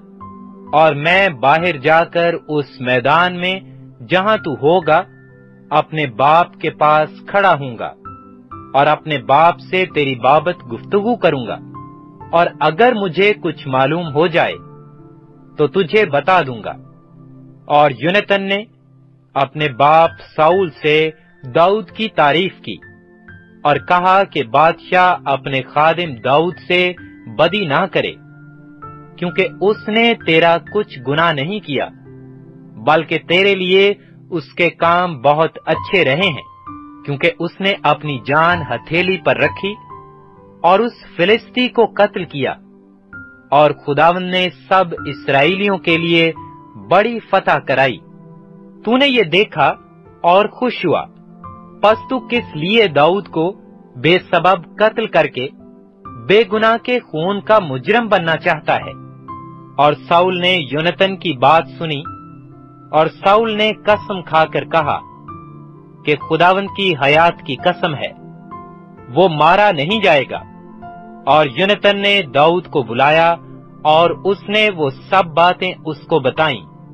और यूनतन दाऊद को साउल के पास लाया, और वो पहले की तरह उसके पास रहने लगा। और फिर जंग हुई, और दाऊद निकला और फिलिस्तियों से लड़ा और बड़ी खूनरेजी के साथ उनको कत्ल किया और वो उसके सामने से भागे और खुदावन की तरफ़ से एक बुरी रूह साउल पर जब वो अपने घर में अपना भाला अपने हाथ में लिए बैठा था, चढ़ी और दाऊद हाथ से बजा रहा था और साउल ने चाहा कि दाऊद को दीवार के साथ भाले से छेद दे। पर वो साउल के आगे से हट गया और भाला दीवार में जा घुसा और दाऊद भागा और उस रात बच गया। और साउल ने दाऊद के घर पर कासद भेजे कि उसकी ताक में रहें और सुब को उसे मार डालें। सो दाऊद की बीवी मेकल ने उससे कहा कि अगर आज की रात तू अपनी जान ना बचाए तो कल मारा जाएगा। और मेकल ने दाऊद को खिड़की से उतार दिया। सो वो चल दिया और भागकर बच गया। और मेकल ने एक बुत को लेकर पलंग पर लिटा दिया। और बकरियों के बाल का तकिया सरहाने रखकर उसे कपड़ों से ढांक दिया। और जब साउल ने दाऊद के पकड़ने को कासत भेजे तो वो कहने लगी कि वो बीमार है। और साउल ने हरकारों को भेजा कि दाऊद को देखें। और कहा कि उसे पलंग समेत मेरे पास लाओ कि मैं उसे कत्ल करूँ। और जब वो कासिद अंदर आए तो देखा कि पलंग पर बुत पड़ा है और उसके सरहाने बकरियों के बाल का तकिया है। तब साउल ने मेकल से कहा कि तूने मुझसे क्यों ऐसी दगा की और मेरे दुश्मन को ऐसा जाने दिया कि वो बच निकला। मेकल ने साउल को जवाब दिया कि वो मुझसे कहने लगा मुझे जाने दे। मैं क्यों तुझे मार डालूं? और दाऊद भागकर बच निकला और रामा में सैमुएल के पास आकर जो कुछ साउल ने उससे किया था, सब उसको बताया। तब वो और सैमुएल दोनों नेवत में जाकर रहने लगे और साउल को खबर मिली कि दाऊद रामा के बीच नेवत में है और साउल ने दाऊद को पकड़ने को कासत भेजे। और उन्होंने जो देखा कि नबियों का मजमा नबूवत कर रहा है और सैमुएल उनका पेशवा बना खड़ा है तो खुदा की रूह साउल के कासदों पर नाजल हुई और वो भी नबूवत करने लगे। और जब साउल तक ये खबर पहुँची तो उसने और कासद भेजे और वो भी नबूवत करने लगे और साउल ने फिर तीसरी बार और कासद भेजे। और वो भी नबूवत करने लगे तब वो आप रामा को चला और उस बड़े कुएँ में, जो सीकू में है, पहुंचकर पूछने लगा कि सैमुएल और दाऊद कहाँ हैं? और किसी ने कहा कि देख, वो रामा के बीच नेवत में हैं। तब वो उधर रामा के नेवत की तरफ़ चला और खुदा की रूह उस पर भी नाजल हुई और वो चलते चलते नबूवत करता हुआ रामा के नेवत में पहुँचा।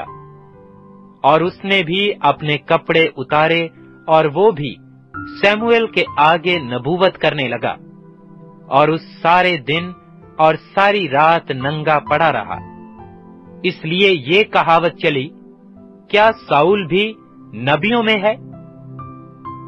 पहला सैमुएल बीसवां बाब, और दाऊद रामा के नेवत से भागा। और युनतन के पास जाकर कहने लगा कि मैंने क्या किया है? मेरा गुनाह क्या है? मैंने तेरे बाप के आगे कौन सी तकसीर की है जो वो मेरी जान का खाहा है? उसने उससे कहा कि खुदा ना करे, तू मारा नहीं जाएगा। देख, मेरा बाप कोई काम बड़ा हो या छोटा नहीं करता, जब तक उसे मुझको ना बताए। फिर भला, मेरा बाप इस बात को क्यों मुझसे छुपाएगा? ऐसा नहीं। तब दाऊद ने कसम खाकर कहा, कि तेरे बाप को बाखूबी मालूम है कि मुझ पर तेरे कर्म की नज़र है। सो वो सोचता होगा कि यूनतन को ये मालूम ना हो, नहीं तो वो रंजीदा होगा। पर यकीनन, खुदावन की हयात और तेरी जान की कसम कि मुझमें और मौत में सिर्फ़ एक ही कदम का फासला है। तब यूनतन ने दाऊद से कहा, कि जो कुछ तेरा जी चाहता हो, मैं तेरे लिए वो ही करूँगा। दाऊद ने यूनतन से कहा, कि देख, कल नया चाँद है, और मुझे लाजिम है कि बादशाह के साथ खाने बैठूं। पर तू मुझे इजाज़त दे कि मैं परसों शाम तक मैदान में छुपा रहूँ। अगर मैं तेरे बाप को याद आऊँ तो कहना कि दाऊद ने मुझसे बजिद होकर रुखसत मांगी, ताकि वो अपने शहर बैतलहम को जाए। इसलिए कि वहाँ सारे घराने की तरफ़ से सालाना कुर्बानी है। अगर वो कहे कि अच्छा तो तेरे चाकर की सलामती है।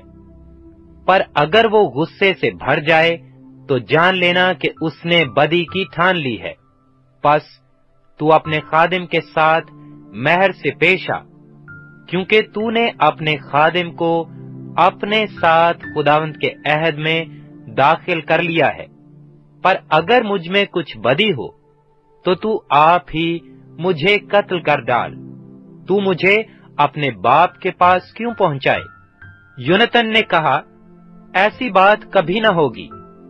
अगर मुझे इल्म होता कि मेरे बाप का इरादा है कि तुझसे बदी करे तो क्या मैं तुझे खबर ना करता?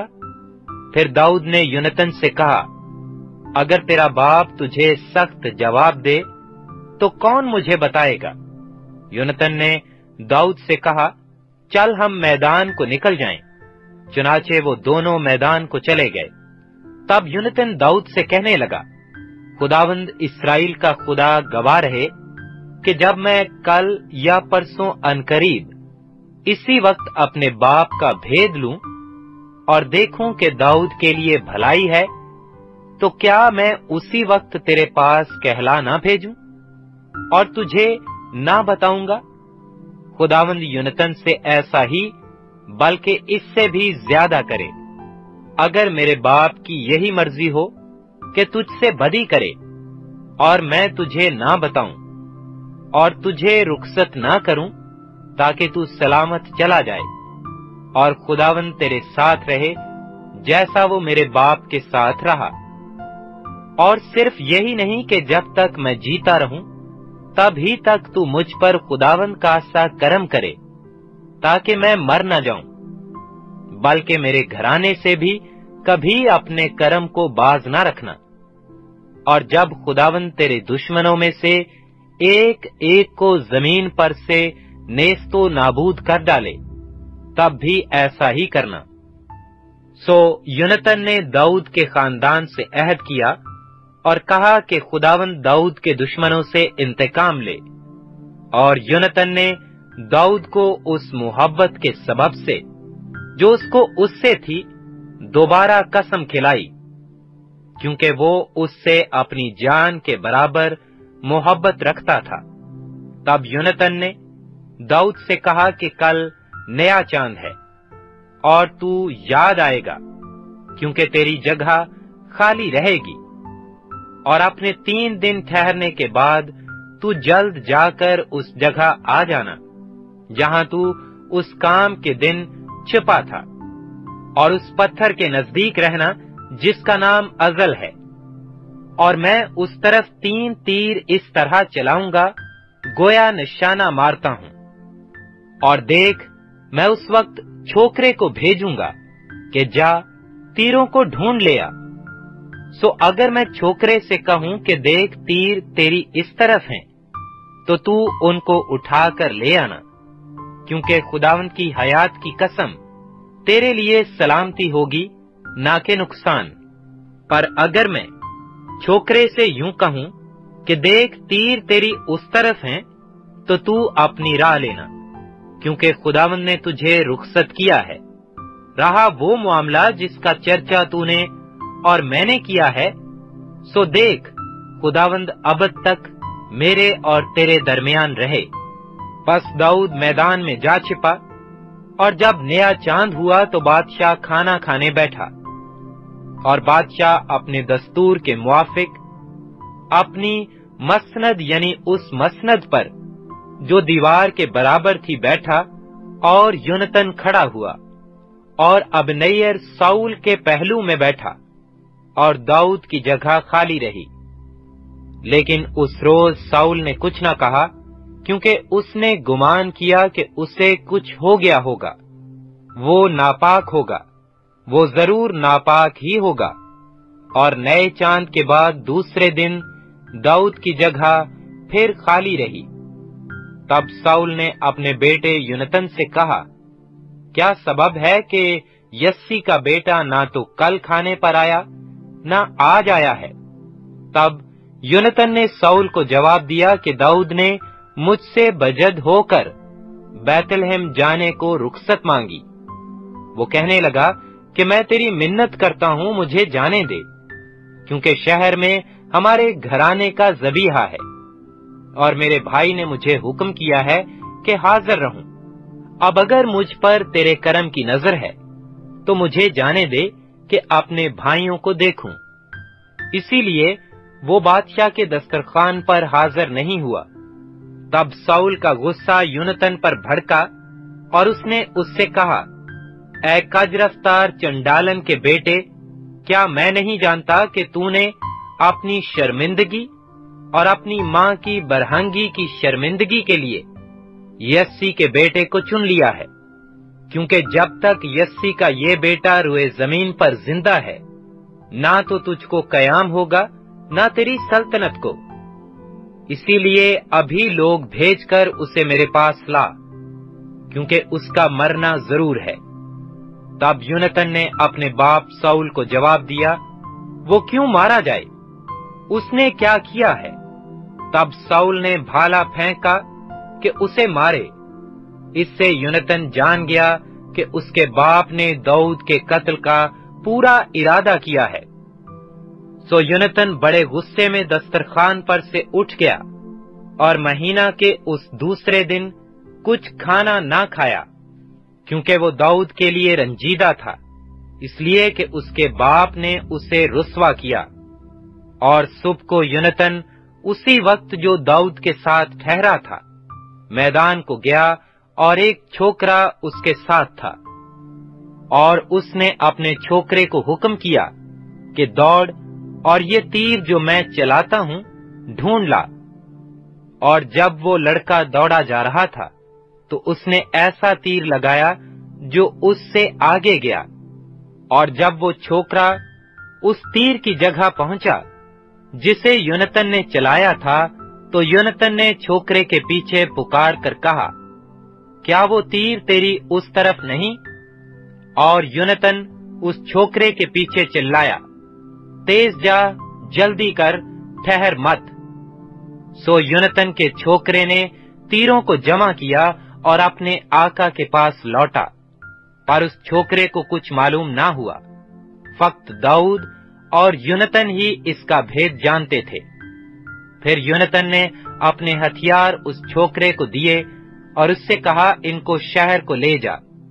जो ही वो छोकरा चला गया, दाऊद जनूब की तरफ़ से निकला और ज़मीन पर ऊंधा होकर तीन बार सिजदा किया और उन्होंने आपस में एक दूसरे को चूमा और बाहम रोए, पर दाऊद बहुत रोया। और जुनतन ने दाऊद से कहा कि सलामत चला जा, क्योंकि हम दोनों ने खुदावंद के नाम की कसम खाकर कहा है कि खुदावंद मेरे और तेरे दरमियान और मेरी और तेरी नस्ल के दरमियान अब तक रहे। सो वो उठकर रवाना हुआ और यूनतन शहर में चला गया। पहला सैमुएल इक्कीसवां बाब और दाऊद नोब में अखिमलिक काहिन के पास आया और अखिमलिक दाऊद से मिलने को कांपता हुआ आया और उससे कहा, तू क्यों अकेला है और तेरे साथ कोई आदमी नहीं? दाऊद ने अखिमलिक काहिन से कहा कि, बादशाह ने मुझे एक काम का हुक्म करके कहा है कि जिस काम पर मैं तुझे भेजता हूँ और जो हुक्म मैंने तुझे दिया है, वो किसी शख्स पर ज़ाहिर ना हो, सो मैंने जवानों को फलानी फलानी जगह बिठा दिया है। बस अब तेरे यहाँ क्या है? मेरे हाथ में रोटियों के पाँच गिरदे या जो कुछ मौजूद हो दे। काहिन ने दाऊद को जवाब दिया, मेरे यहाँ आम रोटियाँ तो नहीं पर मुकद्दस रोटियाँ हैं। बशर्ता के वो जवान औरतों से अलग रहे हों। दाऊद ने काहिन को जवाब दिया, सच तो ये है कि तीन दिन से औरतें हमसे अलग रही हैं। और अगरचे ये मामूली सफ़र है तो भी जब मैं चला था, तब इन जवानों के बर्तन पाक थे। तो आज ही तो ज़रूर ही वो बर्तन पाक होंगे। तब काहिन ने मुकद्दस रोटी उसको दी, क्योंकि और रोटियाँ वहाँ नहीं थीं। फक्त नज़र की रोटी थी जो खुदावंत के आगे से उठाई गई थी, ताकि उसके एवज उस दिन जब वो उठाई जाए, गरम रोटी रखी जाए। और वहाँ उस दिन साउल के खादिमों में से एक शख्स खुदावंत के आगे रुका हुआ था। उसका नाम अदोमी दोएग था। ये साउल के चरवाहों का सरदार था। फिर दाऊद ने अखिमलेक से पूछा, क्या यहाँ तेरे पास कोई नेजा या तलवार नहीं? क्योंकि मैं अपनी तलवार और अपने हथियार अपने साथ नहीं लाया, क्योंकि बादशाह के काम की जल्दी थी। उस काहिन ने कहा कि फिलिस्ती जूलियत की तलवार, जिसे तूने अलेहा की वादी में कत्ल किया, कपड़े में लिपटी हुई, अफोद के पीछे रखी है। अगर तू उसे लेना चाहता है तो ले। उसके सिवा यहाँ कोई और नहीं है। दाऊद ने कहा, वैसी तो कोई है ही नहीं। वो ही मुझे दे। और दाऊद उठा और साउल के खौफ से उसी दिन भागा और जात के बादशाह एकस के पास चला गया। और एकस के मुलाजिमों ने उससे कहा, क्या यही उस मुल्क का बादशाह दाऊद नहीं? क्या इसी के बारा में नाचते वक्त गा गा कर उन्होंने आपस में नहीं कहा था कि साउल ने तो हज़ारों को, पर दाऊद ने लाखों को मारा। दाऊद ने ये बातें अपने दिल में रखी और जात के बादशाह एकस से नहायत डरा। सो वो उनके आगे दूसरी चाल चला और उनके हाथ पड़कर अपने को दीवाना सा बना लिया। और फाटक के कवाड़ों पर लकीरें खींचने और अपनी थूक को अपनी दाढ़ी पर बहाने लगा। तब एकस ने अपने नौकरों से कहा, लो, ये आदमी तो सड़ी है। तुम उसे मेरे पास क्यों लाए? क्या मुझे सीढ़ियों की ज़रूरत है? जो तुम उसको मेरे पास लाए हो, कि मेरे सामने सीढ़ीपन करे। क्या ऐसा आदमी मेरे घर में आने पाएगा? पहला सैमुअल बाईसवां बाब, और दाऊद वहाँ से चला और अदुलाम के मगारे में भाग आया, और उसके भाई और उसके बाप का सारा घराना ये सुनकर उसके पास वहाँ पहुँचा, और सब कंगाल, और सब कर्जदार, और सब बिगड़े दिल उसके पास जमा हुए, और वो उनका सरदार बना और उसके साथ करीबन चार सौ आदमी हो गए। और वहाँ से दाऊद मुआब के मिसफा को गया और मुआब के बादशाह से कहा, मेरे माँ बाप को जरा यहीं आकर अपने यहाँ रहने दे, जब तक कि मुझे मालूम ना हो कि खुदा मेरे लिए क्या करेगा। और वो उनको शाह मुआब के सामने ले आया। सो वो जब तक दाऊद घर में रहा उसी के साथ रहे। तब जाद नबी ने दाऊद से कहा, इस घड़ में मत रहे, रवाना हो और यहूदा के मुल्क में जा। सो दाऊद रवाना हुआ और हारत के बन में चला गया। और साउल ने सुना कि दाऊद और उसके साथियों का पता लगा है। और साउल उस वक्त रामा के जिब्बा में झाओ के दरख्त के नीचे, अपना भाला अपने हाथ में लिए बैठा था और उसके खादिम उसके चौगिर्द खड़े थे।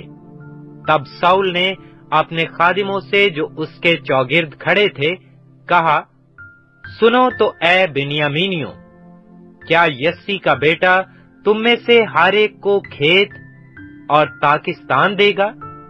और तुम सबको हज़ारों और सैकड़ों का सरदार बनाएगा?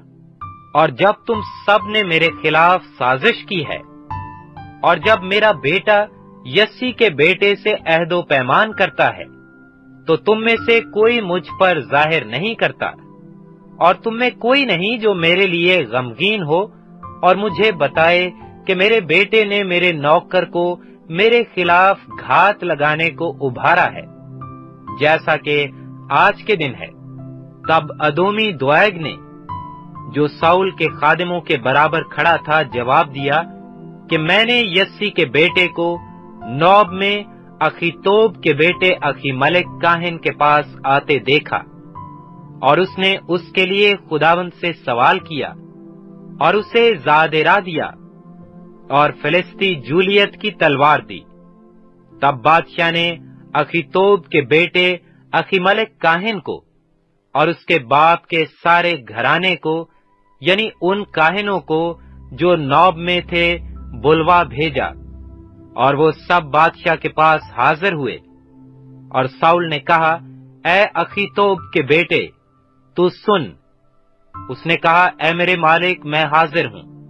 और साउल ने उससे कहा, कि तुमने, यानी तूने और यस्सी के बेटे ने क्यों मेरे खिलाफ साजिश की कि तूने उसे रोटी और तलवार दी? और उसके लिए खुदा से सवाल किया ताकि वो मेरे बरखिलाफ उठकर घात लगाए, जैसा कि आज के दिन है। तब अखीमलिक ने बादशाह को जवाब दिया कि तेरे सब खादिमों में दाऊद की तरह अमानतदार कौन है? वो बादशाह का दामाद है और तेरे दरबार में हाजिर हुआ करता और तेरे घर में मुआज है। और क्या मैंने आज ही उसके लिए खुदा से सवाल करना शुरू किया। ऐसी बात मुझसे दूर रहे। बादशाह अपने खादिम पर और मेरे बाप के सारे घराने पर कोई इल्ज़ाम ना लगाए, क्योंकि तेरा खादिम इन बातों को कुछ नहीं जानता, ना थोड़ा ना बहुत। बादशाह ने कहा ए अखी मलिक तू और तेरे बाप का सारा घराना ज़रूर मार डाला जाएगा। फिर बादशाह ने उन सिपाहियों को जो उसके पास खड़े थे, हुक्म किया कि मुड़ो और खुदावंत के काहिनों को मार डालो, क्योंकि दाऊद के साथ इनका भी हाथ है और उन्होंने ये जानते हुए भी कि वो भागा हुआ है, मुझे नहीं बताया लेकिन बादशाह के खादिमों ने खुदावंत के काहिनों पर हमला करने के लिए हाथ भड़ाना ना चाहा। तब बादशाह ने दुआग से कहा, तू मुड़ और इन काहिनों पर हमला कर। सो अदोमी दुआग ने मुड़कर काहिनों पर हमला किया और उस दिन उसने पचासी आदमी, जो कितान के अफूद पहने थे, कत्ल किए और उसने काहिनों के शहर नौब को तलवार की धार से मारा और मर्दों और औरतों और लड़कों और दूध पीते बच्चों और बैलों और गधों और भेड़ बकरियों को तैदेक किया। और अखीतोब के बेटे अखी मलिक के बेटों में से एक जिसका नाम अभी यातिर था, बच निकला और दाऊद के पास भाग गया। और अभी यातिर ने दाऊद को खबर दी कि साउल ने खुदावन के काहिनों को कत्ल कर डाला है। दाऊद ने अभी यातिर से कहा मैं उसी दिन जब अदोमी द्वैग वहाँ मिला, जान गया था कि वो ज़रूर साउल को खबर देगा। तेरे बाप के सारे घराने के मारे जाने का बायस मैं हूँ। सो तू मेरे साथ रह और मत डर। जो तेरी जान का खाहा है, वो मेरी जान का खाहा है। सो तू मेरे साथ सलामत रहेगा। पहला सैमुअल तेईसवा बाब। और उन्होंने दाऊद को खबर दी कि देख, फलिस्ती कैला से लड़ रहे हैं और खलियानों को लूट रहे हैं। तब दाऊद ने खुदावंत से पूछा कि मैं जाऊँ और उन फलिस्तियों को मारूं? खुदावन ने दाऊद को फरमाया, जा, फिलिस्तियों को मार और कैला को बचा। और दाऊद के लोगों ने उससे कहा कि देख, हम तो यहीं, यहूदा में डरते हैं। बस हम केला को जाकर फलिस्ती लश्करों का सामना करें तो कितना ज़्यादा ना डर लगेगा। तब दाऊद ने खुदावन से फिर सवाल किया। खुदावन ने जवाब दिया कि उठ, कैला को जा, क्योंकि मैं फलिस्तियों को तेरे हाथ में कर दूँगा। सो दाऊद और उसके लोग कैला को गए और फलिस्तियों से लड़े और उनकी मुआशी ले आए और उनको बड़ी खूनरेजी के साथ कत्ल किया। यूँ दाऊद ने कैलियों को बचाया, जब अखी मलिक का बेटा अभी यातर दाऊद के पास कैला को भागा तो उसके हाथ में एक अफोद था, जिसे वो साथ ले गया था। और साउल को खबर हुई कि दाऊद कैला में आया है।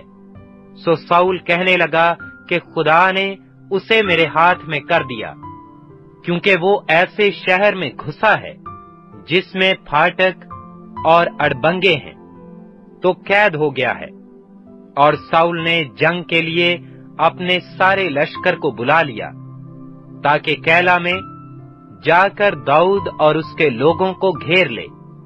और दाऊद को मालूम हो गया कि साउल उसके खिलाफ बदी की तदबीरें कर रहा है।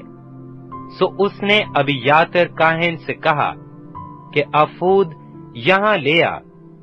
और दाऊद ने कहा ए खुदावंद इसराइल के खुदा, तेरे बंदा ने ये कतई सुना है कि साउल कैला को आना चाहता है, ताकि मेरे सबब से शहर को गारत कर दे। सो क्या कैला के लोग मुझको उसके हवाला कर देंगे? क्या साउल जैसा तेरे बंदा ने सुना है आएगा? ए खुदावंद इसराइल के खुदा मैं तेरी मिन्नत करता हूँ कि तू अपने बंदा को बता दे। खुदावन ने कहा, वो आएगा। तब दाऊद ने कहा कि क्या केला के लोग मुझे और मेरे लोगों को साउल के हवाला कर देंगे? खुदावन ने कहा, वो तुझे हवाला कर देंगे। तब दाऊद और उसके लोग, जो करीबन 600 थे, उठकर कैला से निकल गए और जहाँ कहीं जा सके चल दिए। और साउल को खबर मिली कि दाऊद कैला से निकल गया, बस वो जाने से बाज रहा। और दाऊद ने बियाबान के किलों में सकूनत की और दस्ते जैफ के कोहिस्तानी मुल्क में रहा। और साउल हर रोज उसकी तलाश में रहा, पर खुदा ने उसको उसके हाथ में हवाला ना किया। और दाऊद ने देखा कि साउल उसकी जान लेने को निकला है। उस वक्त दाऊद दश्ते जैफ के बन में था। और साउल का बेटा यूनतन उठकर दाऊद के पास बन में गया और खुदा में उसका हाथ मज़बूत किया। उसने उससे कहा, तू मत डर, क्योंकि तू मेरे बाप साउल के हाथ में नहीं पड़ेगा। और तू इसराइल का बादशाह होगा और मैं तुझसे दूसरे दर्जा पर हूँगा। ये मेरे बाप साउल को भी मालूम है। और उन दोनों ने खुदावंत के आगे अहदो पैमान किया और दाऊद बन में ठहरा रहा और युनतन अपने घर को गया। तब जैफ के लोग जिब्बा में साउल के पास जाकर कहने लगे, क्या दाऊद हमारे दरमियान कोहे हकीला के बन के किलों में दश्त के जनूब की तरफ़ छिपा नहीं है? सो अब, ए बादशाह, तेरे दिल को जो बड़ी आरज़ू आने की है उसके मुताबिक आ और उसको बादशाह के हाथ में हवाला करना हमारा जिम्मा रहा। तब साउल ने कहा खुदावन की तरफ़ से तुम मुबारक हो, क्योंकि तुमने मुझ पर रहम किया, सो अब जरा जाकर सब कुछ और पक्का कर लो और उसकी जगह को देखकर जान लो कि उसका ठिकाना कहाँ है और किसने उसे वहाँ देखा है। क्योंकि मुझसे कहा गया है कि वो बड़ी चलाकी से काम करता है। सो तुम देख भाल कर जहाँ जहाँ वो छिपा करता है, उन ठिकानों का पता लगाकर ज़रूर मेरे पास फिर आओ, और मैं तुम्हारे साथ चलूँगा, और अगर वो इस मुल्क में कहीं भी हो तो मैं उसे यहूदा के हज़ारों हज़ार में से ढूंढ निकालूँगा। सो वो उठे और साउल से पेशतर जैफ को गए। लेकिन दाऊद और उसके लोग माउन के बियाबान में थे, जो दश्त के जनूब की तरफ़ मैदान में था। और साउल और उसके लोग उसकी तलाश में निकले और दाऊद को खबर पहुँची। सो वो चट्टान पर से उतर आया और माउन के बियाबान में रहने लगा। और साउल ने ये सुनकर माउन के बियाबान में दाऊद का पीछा किया। और साउल पहाड़ की इस तरफ़ और दाऊद और उसके लोग पहाड़ की उस तरफ़ चल रहे थे। और दाऊद साउल के खौफ से निकल जाने की जल्दी कर रहा था। इसलिए कि साउल और उसके लोगों ने दाऊद को और उसके लोगों को पकड़ने के लिए घेर लिया था। लेकिन एक कासिद ने आकर साउल से कहा कि जल्दी चल, क्योंकि फलिस्तियों ने मुल्क पर हमला किया है। सो साउल दाऊद का पीछा छोड़कर फिलिस्तियों का मुकाबला करने को गया। इसलिए उन्होंने उस जगह का नाम सले हम कलूत रखा और दाऊद वहाँ से चला गया और एन जदी के किलों में रहने लगा। पहला सैमुएल चौबीसवां बाब। जब सऊल फिलिस्तियों का पीछा करके लौटा तो उसे खबर मिली कि दाऊद एन जदी के बियाबान में है। सो साउल सब इसराइलियों में से तीन हज़ार छह मर्द लेकर जंगली बकरों की चट्टानों पर दाऊद और उसके लोगों की तलाश में चला और वो रास्ता में भेड़ सालों के पास पहुँचा, जहाँ एक गार था और साउल उस गार में फरागत करने घुसा और दाऊद अपने लोगों समेत उस गार के अंदरूनी खानों में बैठा था। और दाऊद के लोगों ने उससे कहा, देख ये वो दिन है जिसकी बाबत खुदावन ने तुझसे कहा था कि देख, मैं तेरे दुश्मन को तेरे हाथ में करूँगा, और जो तेरा जी चाहे, सो तू उससे करना। सो दाऊद उठकर साउल के जुब्बा का दामन चुपके से काट ले गया, और उसके बाद ऐसा हुआ कि दाऊद का दिल बेचैन हुआ। इसलिए कि उसने साउल के जुब्बा का दामन काट लिया था। और उसने अपने लोगों से कहा कि खुदावन ना करे कि मैं अपने मालिक से, जो खुदावन का ममसू है, ऐसा काम करूँ कि अपना हाथ उस पर चलाऊं। इसलिए कि वो खुदावन का ममसू है। सो दाऊद ने अपने लोगों को ये बातें कहकर रोका और उनको साउल पर हमला करने ना दिया। और साउल उठकर गार से निकला और अपनी राह ली। और बाद उसके दाऊद भी उठा और उस गार में से निकला और साउल के पीछे पुकार कर कहने लगा मेरे मालिक बादशाह, जब साउल ने पीछे फिरकर देखा तो दाऊद ने ऊंधे मुँह गिरकर सिजदा किया। और दाऊद ने साउल से कहा, तू क्यों ऐसे लोगों की बातों को सुनता है जो कहते हैं कि दाऊद तेरी बदी चाहता है। देख, आज के दिन तूने अपनी आँखों से देखा कि खुदावन ने गार में आज ही तुझे मेरे हाथ में कर दिया। और बाजू ने मुझसे कहा भी कि तुझे मार डालूं, पर मेरी आँखों ने तेरा लिहाज किया। और मैंने कहा कि मैं अपने मालिक पर हाथ नहीं चलाऊँगा, क्योंकि वो खुदावन का ममसू है। माँ सवाए इसके, ऐ मेरे बाप, देख, ये भी देख कि तेरे जुब्बे का दामन मेरे हाथ में है। और चूँकि मैंने तेरे जुब्बा का दामन काटा और तुझे मार नहीं डाला, सो तू जान ले और देख ले कि मेरे हाथ में किसी तरह की बदी या बुराई नहीं।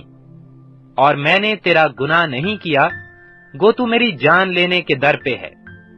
खुदावन मेरे और तेरे दरमियान इंसाफ करे। और खुदावन तुझ से मेरा इंतकाम ले, पर मेरा हाथ तुझ पर नहीं उठेगा। कदीम लोगों की मिसल है कि बुरों से बुराई होती है, पर मेरा हाथ तुझ पर नहीं उठेगा। इसराइल का बादशाह किसके पीछे निकला? तू किसके पीछे पड़ा है? एक मरे हुए कुत्ते के पीछे? एक पिस्सू के पीछे? बस खुदावंद ही मुंसिफ हो और मेरे और तेरे दरमियान फैसला करे और देखे और मेरा मुकदमा लड़े और तेरे हाथ से मुझे छुड़ाए। और ऐसा हुआ कि जब दाऊद ये बातें साउल से कह चुका तो साउल ने कहा, ऐ मेरे बेटे दाऊद, क्या ये तेरी आवाज़ है? और साउल चिल्लाकर रोने लगा। और उसने दाऊद से कहा, तू मुझसे ज़्यादा सादिक है इसलिए कि तूने मेरे साथ भलाई की है, हालाँकि मैंने तेरे साथ बुराई की। और तूने आज के दिन ज़ाहिर कर दिया कि तूने मेरे साथ भलाई की है, क्योंकि जब खुदावन ने मुझे तेरे हाथ में कर दिया तो तूने मुझे कत्ल न किया। भला क्या कोई अपने दुश्मन को पाकर उसे सलामत जाने देता है? सो खुदावंद उस नेकी के एवज जो तूने मुझसे आज के दिन की, तुझको नेक जजा दे। और अब देख, मैं खूब जानता हूँ कि तू यकीनन बादशाह होगा, और इसराइल की सल्तनत तेरे हाथ में पड़कर कायम होगी। सो अब मुझसे खुदावन की कसम खा कि तू मेरे बाद मेरी नस्ल को हलाक नहीं करेगा, और मेरे बाप के घराने में से मेरे नाम को मिटा नहीं डालेगा। सो दाऊद ने साउल से कसम खाई, और साउल घर को चला गया, पर दाऊद और उसके लोग उस घर में जा बैठे।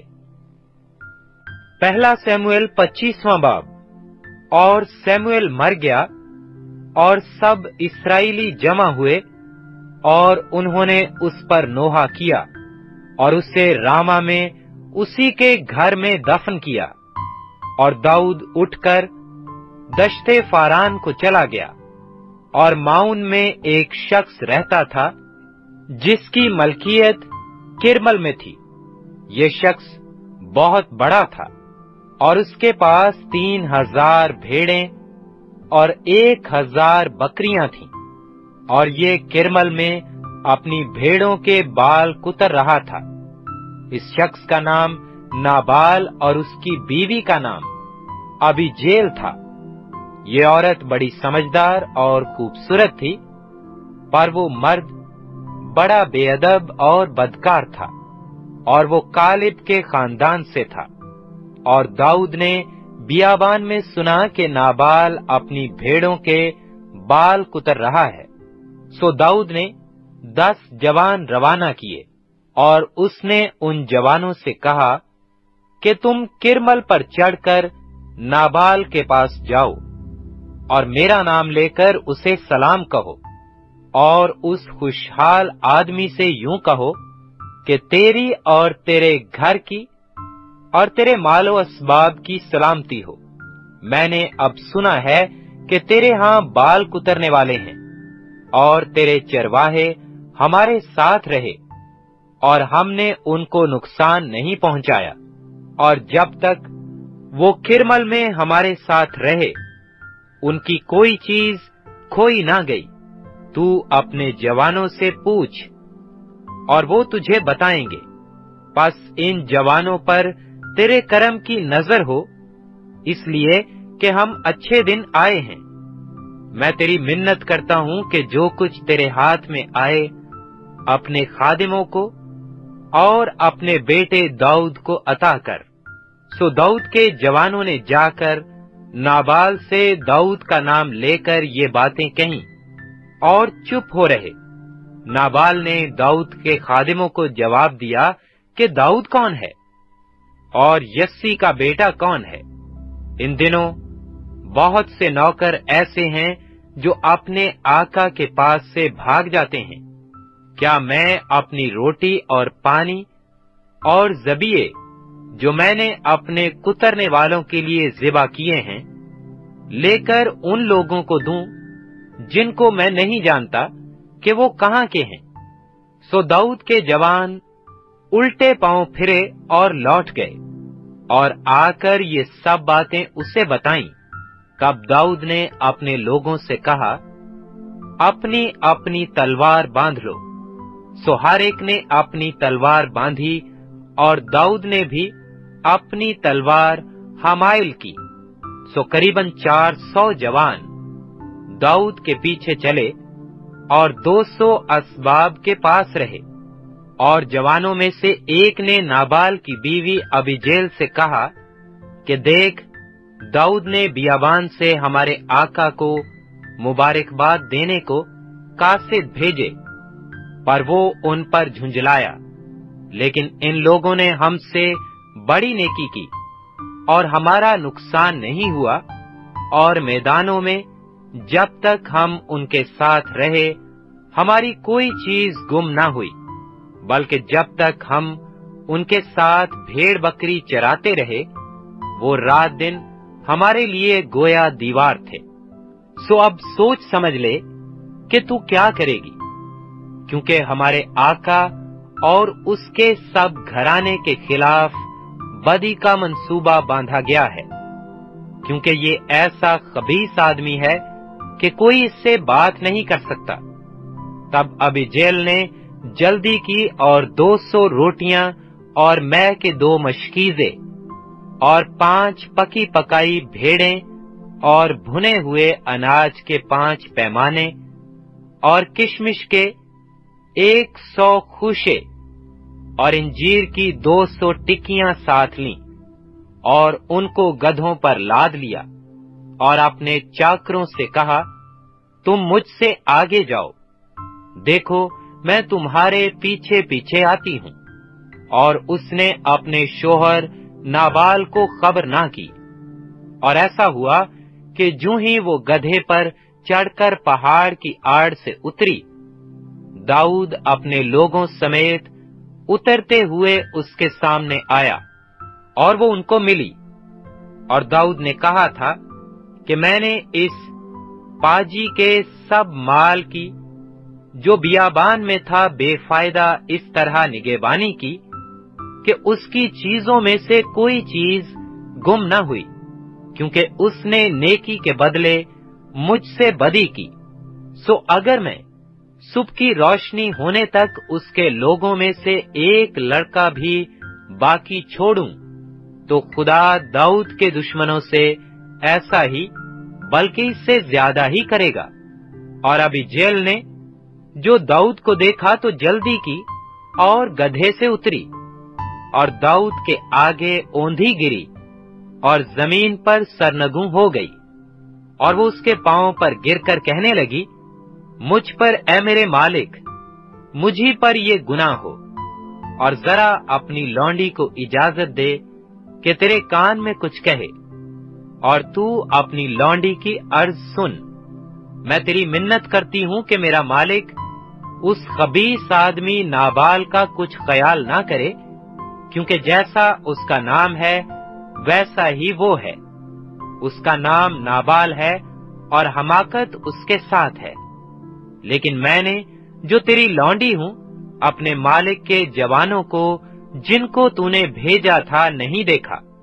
और अब ए मेरे मालिक, खुदावंत की हयात की कसम, और तेरी जान ही की सौगंध, के खुदावन ने जो तुझे खून रेजी से, और अपने ही हाथों अपना इंतकाम लेने से बाज रखा है, इसलिए तेरे दुश्मन और मेरे मालिक के बदखवा नाबाल की मानंद ठहरे।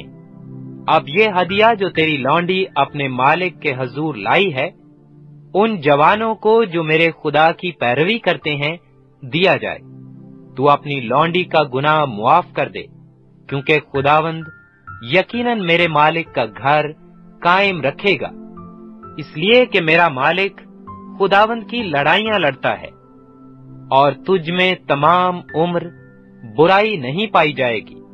और गो इंसान तेरा पीछा करने और तेरी जान लेने को उठे तो भी मेरे मालिक की जान ज़िंदगी के लुक बचा में खुदावन तेरे खुदा के साथ बंधी रहेगी।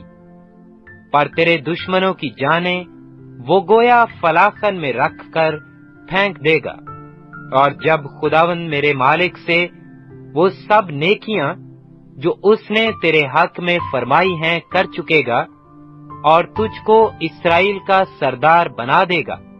तू मुझे इसका गम और मेरे मालिक को ये दिली सदमा ना होगा कि तूने बेसबब खून बहाया या मेरे मालिक ने अपना इंतकाम लिया और जब खुदावन मेरे मालिक से भलाई करे तो तू अपनी लौंडी को याद करना।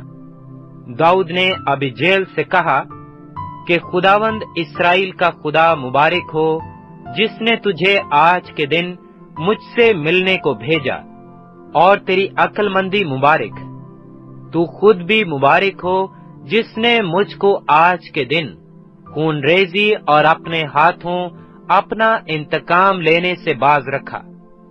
क्योंकि खुदावंद इसराइल के खुदा की हयात की कसम, जिसने मुझे तुझको नुकसान पहुँचाने से रोका कि अगर तू जल्दी ना करती और मुझसे मिलने को ना आती तो सुबह की रोशनी तक नाबाल के लिए एक लड़का भी ना रहता। और दाऊद ने उसके हाथ से जो कुछ वो उसके लिए लाई थी कबूल किया और उससे कहा, अपने घर सलामत जा। देख, मैंने तेरी बात मानी और तेरा लिहाज किया। और अभिजेल नाबाल के पास आई और देखा कि उसने अपने घर में शाहाना जियाफत की तरह जियाफत कर रखी है। और नाबाल का दिल उसके पहलू में मगन है, इसलिए कि वो नशा में चूर था। सो उसने उससे सुबह की रोशनी तक ना थोड़ा, न बहुत कुछ ना कहा। सुबह को जब नाबाल का नशा उतर गया तो उसकी बीवी ने ये बातें उसे बताई, तब उसका दिल उसके पहलू में मुर्दा हो गया और वो पत्थर की मानिंद सुन पड़ गया। और दस दिन के बाद ऐसा हुआ कि खुदावन ने नाबाल को मारा और वो मर गया। जब दाऊद ने सुना कि नाबाल मर गया तो वो कहने लगा कि खुदावंद मुबारक हो, जो नाबाल से मेरी रुसवाई का मुकदमा लड़ा और अपने बंदा को बदी से बाज रखा। और खुदावन ने नाबाल की शरारत को उसी के सिर पर लादा, और दाऊद ने अबिजेल के बारह में पैगाम भेजा ताकि उससे ब्याह करे और जब दाऊद के खादिम किरमल में अबिजेल के पास आए तो उन्होंने उससे कहा कि दाऊद ने हमको तेरे पास भेजा है, ताकि हम तुझे उससे ब्याहने को ले जाएँ। सो वो उठी और ज़मीन पर औंधे मुँह गिरी और कहने लगी कि देख, तेरी लौंडी तो नौकर है, ताकि अपने मालिक के खादिमों के पाँव धोए। अबिजेल ने जल्दी की और उठकर गधे पर सवार हुई और अपनी पाँच लौंडियाँ, जो उसके जलों में थीं, साथ ले ली और वो दाऊद के कासिदों के पीछे पीछे गई। और उसकी बीवी बनी, और दाऊद ने यजरेल की अखियो नौम को भी ब्याह लिया। सो वो दोनों उसकी बीवियाँ बनी, और साउल ने अपनी बेटी मेकल को, जो दाऊद की बीवी थी, लैस के बेटे जलमी फलेती को दे दिया था। पहला सैमुएल, छब्बीसवां बाब। और जेफी जिब्बा में साउल के पास जाकर कहने लगा, क्या दाऊद हकेला के पहाड़ में, जो दश्त के सामने है, छिपा हुआ नहीं? तब साउल उठा और तीन हज़ार चुने हुए इसराइली मर्द अपने साथ लेकर दश्ते जैफ को गया, ताकि उस दश्त में दाऊद को तलाश करे। और साउल हकेला के पहाड़ में जो दश्त के सामने है, रास्ता के किनारे खैमा जन हुआ। पर दाऊद दश्त में रहा और उसने देखा कि साउल उसके पीछे दश्त में आया है। बस दाऊद ने जासूस भेजकर मालूम कर लिया कि साउल फिल हकीकत आया है। तब दाऊद उठकर साउल की खैमागाह में आया और वो जगह देखी जहाँ साउल और नैयर का बेटा अब नैयर भी, जो उसके लश्कर का सरदार था, आराम कर रहे थे। और साउल गाड़ियों की जगह के बीच सोता था, और लोग उसके गिरदा गिर्द डेरे डाले हुए थे। तब दाऊद ने हती अखी मलिक और जोएबा के बेटे अभिषे से, जो युआब का भाई था, कहा कौन मेरे साथ साउल के पास खैमागाह में चलेगा? अभिषे ने कहा, मैं तेरे साथ चलूँगा। सो दाऊद और अभिषे रात को लश्कर में घुसे और देखा कि साउल गाड़ियों की जगह के बीच में पड़ा सो रहा है और उसका नेजा उसके सरहाने ज़मीन में गड़ा हुआ है और अब नैयर और लश्कर के लोग उसके गिर्द पड़े हैं।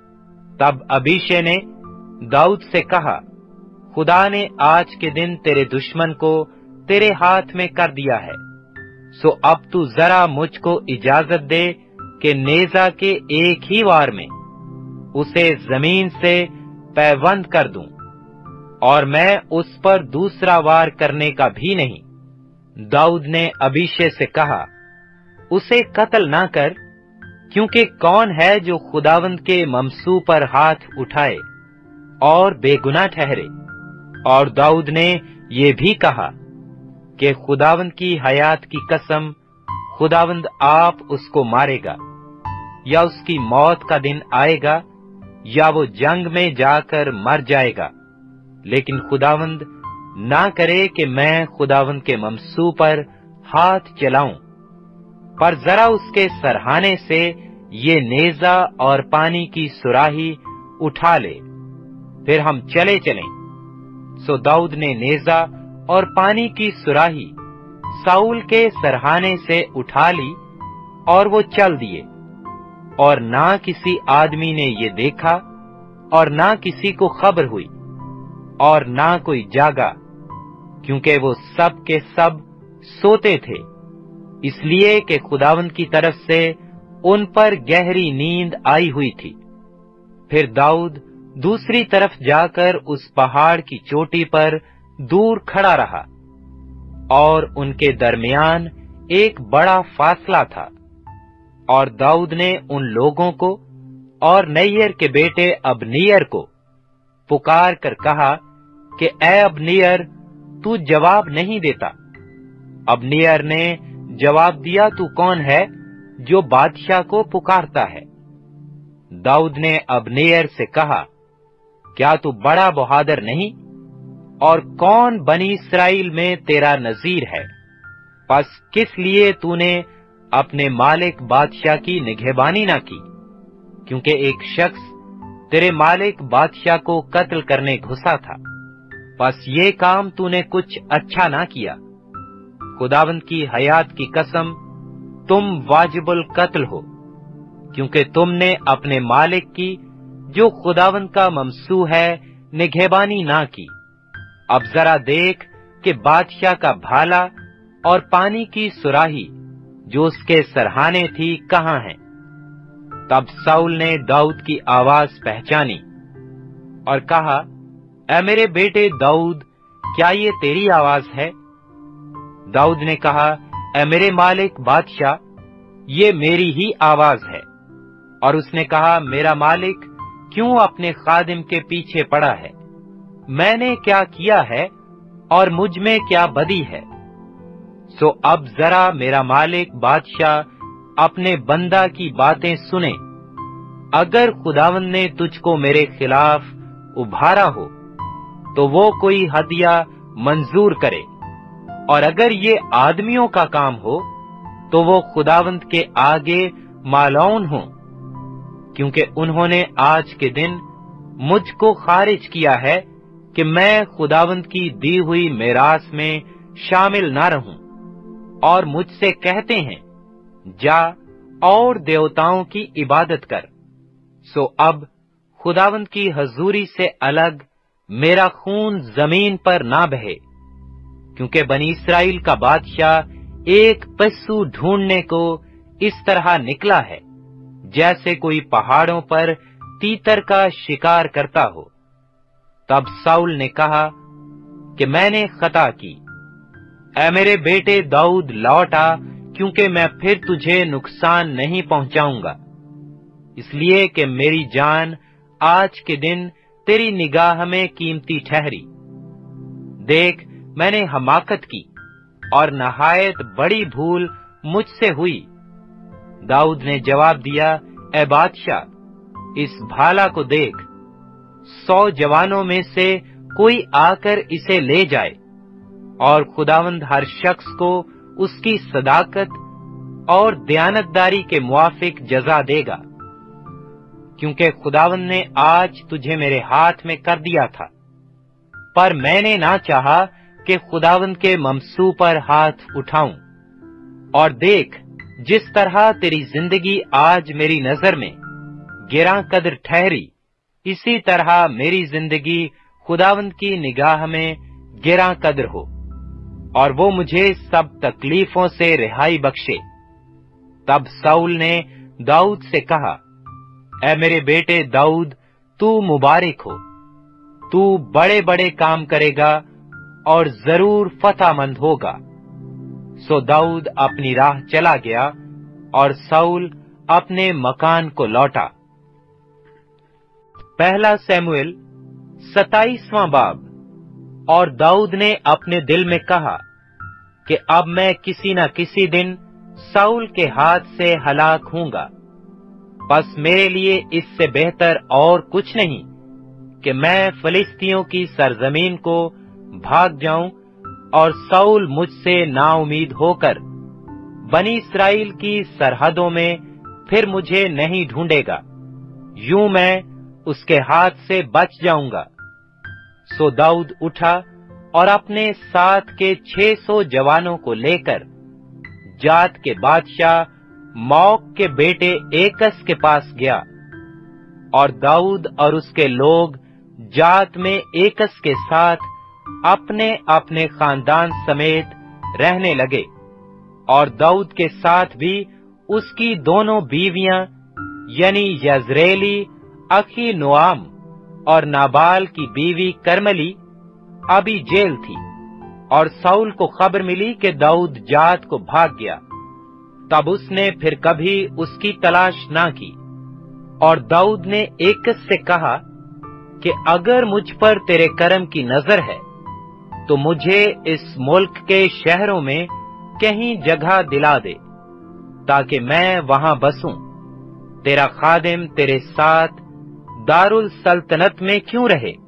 सो एकस ने उस दिन सिखलाज उसे दिया। इसलिए सिखलाज आज के दिन तक यहूदा के बादशाहों का है, और दाऊद फलिस्तियों की सरजमीन में कुल एक बरस और चार महीने तक रहा। और दाऊद और उसके लोगों ने जाकर जसोरियों और जजेरियों और अमालिकियों पर हमला किया, क्योंकि वो शौर की राह से मिस्र की हद तक उस सरजमीन के कदीम बाशिंदे थे।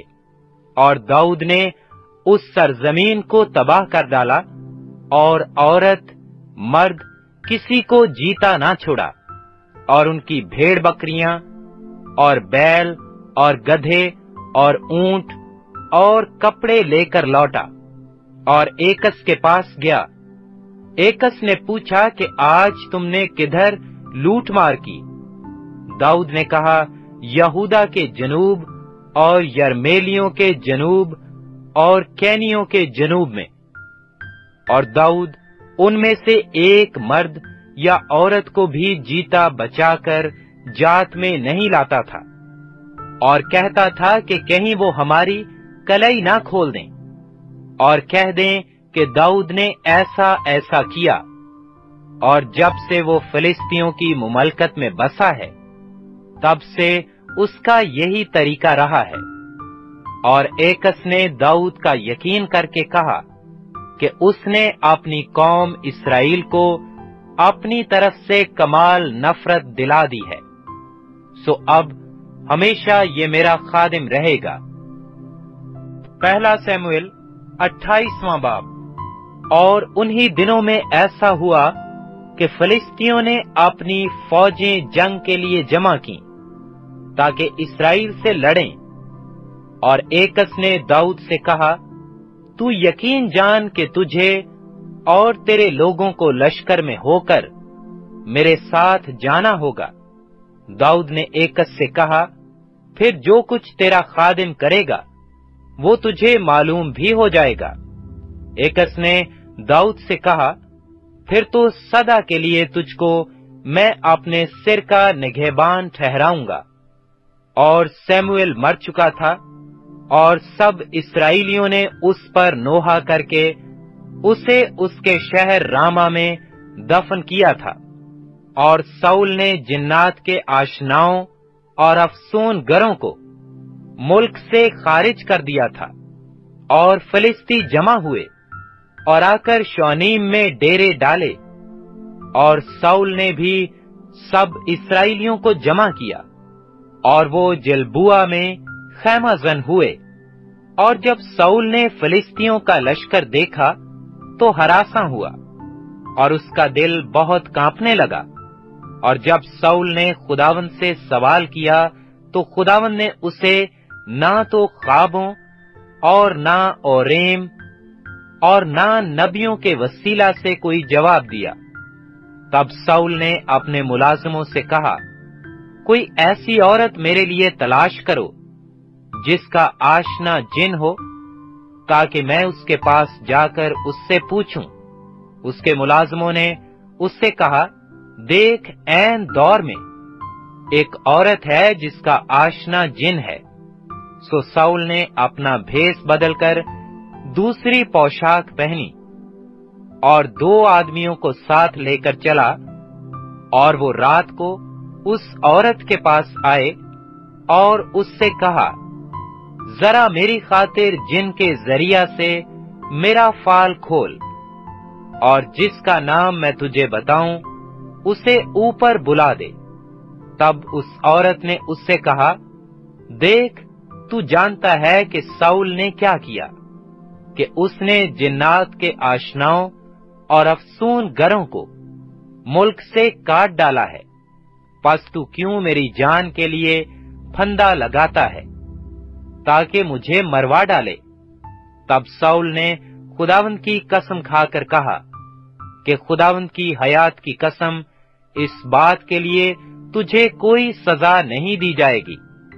तब उस औरत ने कहा, मैं किसको तेरे लिए ऊपर बुला दूँ? उसने कहा सैमुअल को मेरे लिए बुला दे। जब उस औरत ने सैमुअल को देखा तो बुलंद आवाज़ से चिल्लाई और उस औरत ने साउल से कहा, तूने मुझसे क्यों दगा की? क्योंकि तू तो साउल है। तब बादशाह ने उससे कहा, हरासा मत हो, तुझे क्या दिखाई देता है? उसने साउल से कहा, मुझे एक देवता ज़मीन से ऊपर आते दिखाई देता है। तब उसने उससे कहा, उसकी शक्ल कैसी है? उसने कहा, एक बुढ़ा ऊपर को आ रहा है और जुब्बा पहने है। तब साउल जान गया कि वो सैमुअल है और उसने मुँह के बल गिरकर ज़मीन पर सिजदा किया। सैमुएल ने साउल से कहा, तूने क्यों मुझे बेचैन किया कि मुझे ऊपर बुलवाया? साउल ने जवाब दिया, मैं सख्त परेशान हूँ, क्योंकि फिलिस्ती मुझसे लड़ते हैं। और खुदा मुझसे अलग हो गया है। और ना तो नबियों और ना ख्वाबों के वसीला से मुझे जवाब देता है। इसलिए मैंने तुझे बुलाया ताकि तू मुझे बताए कि मैं क्या करूँ। सैमुएल ने कहा, पस तू मुझसे किस लिए पूछता है? जिस हाल के खुदावन तुझसे अलग हो गया और तेरा दुश्मन बना है। और खुदावन ने जैसा मेरी मार्फत कहा था, वैसा ही किया है। खुदावन ने तेरे हाथ से सल्तनत चाक कर ली, और तेरे पड़ोसी दाऊद को अनायत की है। इसलिए कि तूने खुदावन की बात नहीं मानी, और अमालीकियों से उसके कहरे शदीद के मुआफिक पेश नहीं आया। इसी सबब से खुदावन ने आज के दिन तुझसे ये बर्ताव किया। माँ सवाए इसके, खुदावन तेरे साथ इसराइलियों को भी, फलिस्तियों के हाथ में कर देगा। और कल तू और तेरे बेटे मेरे साथ होगे, और खुदावंद इसराइली लश्कर को भी, फिलिस्तियों के हाथ में कर देगा। तब साउल फ़ौरन ज़मीन पर लंबा होकर गिरा, और सैमुएल की बातों के सबब से नहायत डर गया। और उसमें कुछ कुवत बाकी ना रही, क्योंकि उसने उस सारे दिन और सारी रात रोटी नहीं खाई थी। तब वो औरत साउल के पास आई और देखा कि वो नहायत परेशान है। सो उसने उससे कहा, देख, तेरी लौंडी ने तेरी बात मानी, और मैंने अपनी जान अपनी हथेली पर रखी, और जो बातें तूने मुझसे कही मैंने उनको माना है। सो अब मैं तेरी मिन्नत करती हूँ कि तू अपनी लौंडी की बात सुन और मुझे इजाज़त दे कि रोटी का टुकड़ा तेरे आगे रखूँ। तू खा ताकि जब तू अपनी राह ले तो तुझे ताकत मिले। पर उसने इनकार किया और कहा, मैं नहीं खाऊँगा। लेकिन उसके मुलाजिम उस औरत के साथ मिलकर उससे बजिद हुए। तब उसने उनका कहा, माना, और ज़मीन पर से उठकर पलंग पर बैठ गया। उस औरत के घर में एक मोटा बछड़ा था। सो उसने जल्दी की और उसे जिबा किया और आटा लेकर गूंधा और बेखमीरी रोटियाँ पकाई और उनको साउल और उसके मुलाजमों के आगे लाई और उन्होंने खाया। तब वो उठे और उसी रात चले गए। पहला सैमुएल उन्तीसवां बाब। और फलिस्ती अपने सारे लश्कर को अफीक में जमा करने लगे और इसराइली उस चश्मा के नज़दीक, जो यजरेल में है, खैमाजन हुए और फलिस्तियों के उमरा सैकड़ों और हज़ारों के साथ आगे आगे चल रहे थे। और दाऊद अपने लोगों समेत एकस के साथ पीछे पीछे जा रहा था। तब फलिस्ती अमीरों ने कहा, इन इब्रानियों का यहाँ क्या काम है? एकस ने फलिस्ती अमीरों से कहा, क्या ये इसराइल के बादशाह साउल का खादिम दाऊद नहीं, जो इतने दिनों बल्कि इतने बरसों से मेरे साथ है, और मैंने जब से वो मेरे पास भाग आया है, आज के दिन तक उसमें कुछ बदी नहीं पाई। लेकिन फिलिस्ती उमरा उससे नाराज़ हुए और फिलिस्ती उमरा ने उससे कहा, इस शख्स को लौटा दे कि वो अपनी जगह को, जो तूने उसके लिए ठहराई है, वापस जाए। उसे हमारे साथ जंग पर ना जाने दे, ता ऐसा न हो कि जंग में वो हमारा मुखालिफ हो, क्योंकि वो अपने आका से कैसे मेल करेगा? क्या इन्हीं लोगों के सिरों से नहीं? क्या ये वही दाऊद नहीं जिसकी बाबत उन्होंने नाचते गाते, गा गा कर एक दूसरे से कहा कि साउल ने तो हज़ारों को, पर दाऊद ने लाखों को मारा। तब एक ने दाऊद को बुलाकर उससे कहा खुदावंत की हयात की कसम कि तू रास्तकार है। और मेरी नज़र में तेरी आमदोरफ्त मेरे साथ लश्कर में अच्छी है, क्योंकि मैंने जिस दिन से तू मेरे पास आया, आज के दिन तक तुझ में कुछ बदी नहीं पाई। तो भी ये मेरे उमरा तुझे नहीं चाहते। सो तू अब लौटकर सलामत चला जा, ताकि फलिस्ती उमरा तुझसे नाराज़ ना हो। दाऊद ने एक से कहा, लेकिन मैंने क्या किया है? और जब से मैं तेरे सामने हूँ, तब से आज के दिन तक मुझमें तूने क्या बात पाई, जो मैं अपने मालिक बादशाह के दुश्मनों से जंग करने को ना जाऊँ? एकस ने दाऊद को जवाब दिया, मैं जानता हूँ कि तू मेरी नज़र में खुदा के फरिश्ता की मानिंद नेक है। तो भी फलस्ती उमरा ने कहा है कि वो हमारे साथ जंग के लिए ना जाए। सो अब तू सुबह सवेरे अपने आका के खादिमों को लेकर जो तेरे साथ यहाँ आए हैं, उठना और जैसे ही तुम सुबह सवेरे उठो, रोशनी होते होते रवाना हो जाना। सो दाऊद अपने लोगों समेत तड़के उठा।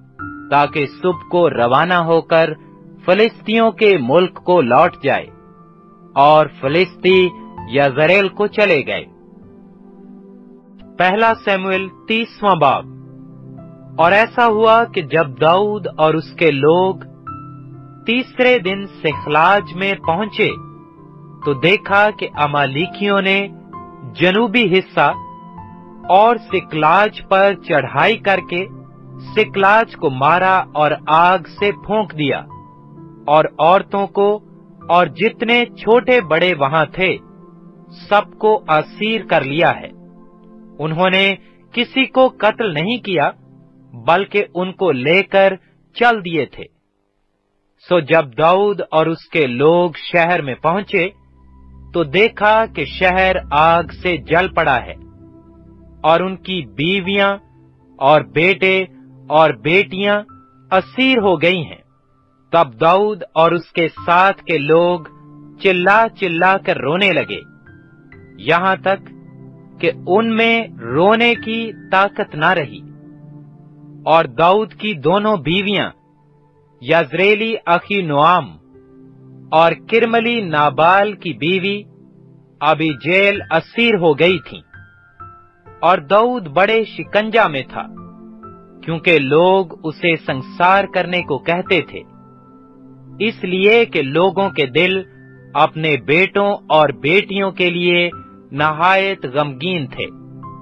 पर दाऊद ने खुदावंद अपने खुदा में अपने आप को मज़बूत किया। और दाऊद ने अखी मलिक के बेटे अबियातिर काहिन से कहा कि जरा अफूद को यहाँ मेरे पास ले आ। सवाबी यातिर अफूद को दाऊद के पास ले आया। और दाऊद ने खुदावन से पूछा कि अगर मैं उस फौज का पीछा करूँ तो क्या मैं उनको जा लूँगा? उसने उससे कहा कि पीछा कर, क्योंकि तू यकीनन उनको जा लेगा और ज़रूर सब कुछ छुड़ा लाएगा।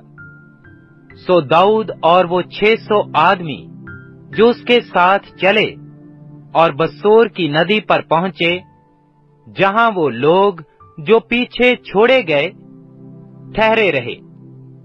पर दाऊद और 400 आदमी पीछा किए चले गए, क्योंकि वो 200 जो ऐसे थक गए थे, बसोर की नदी के पार ना जा सके, पीछे रह गए।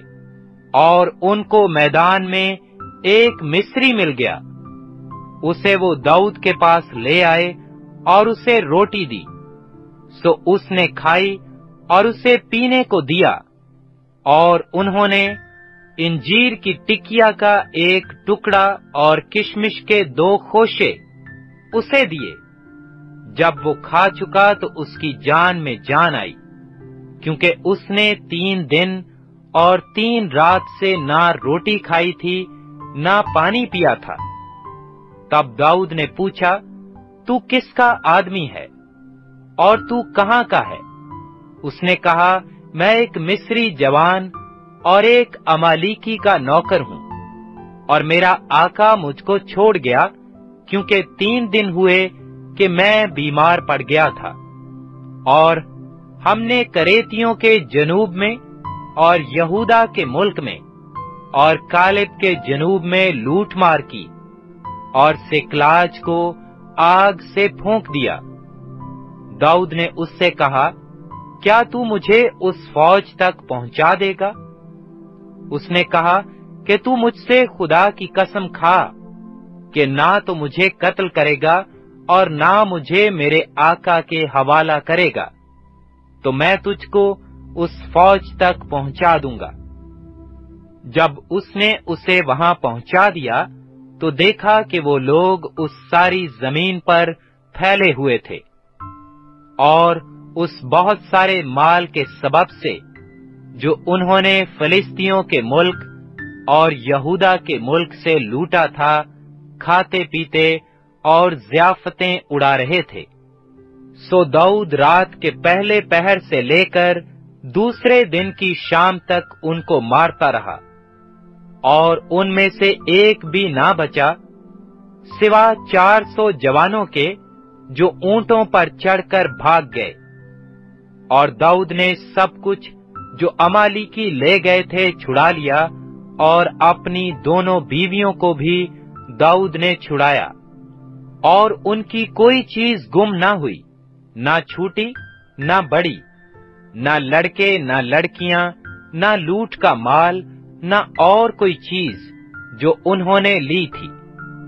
दाऊद सब का सब लौटा लाया और दाऊद ने सब भेड़ बकरियाँ और गाय बैल ले लिए और वो उनको बाकी मुआशी के आगे ये कहते हुए हाँक लाए कि ये दाऊद की लूट है। और दाऊद उन 200 जवानों के पास आया जो ऐसे थक गए थे कि दाऊद के पीछे पीछे ना जा सके, और जिनको उन्होंने बसोर की नदी पर ठहरा दिया था। वो दाऊद और उसके साथ के लोगों से मिलने को निकले, और जब दाऊद उन लोगों के नज़दीक पहुँचा तो उसने उनसे खैरवाफियत पूछी।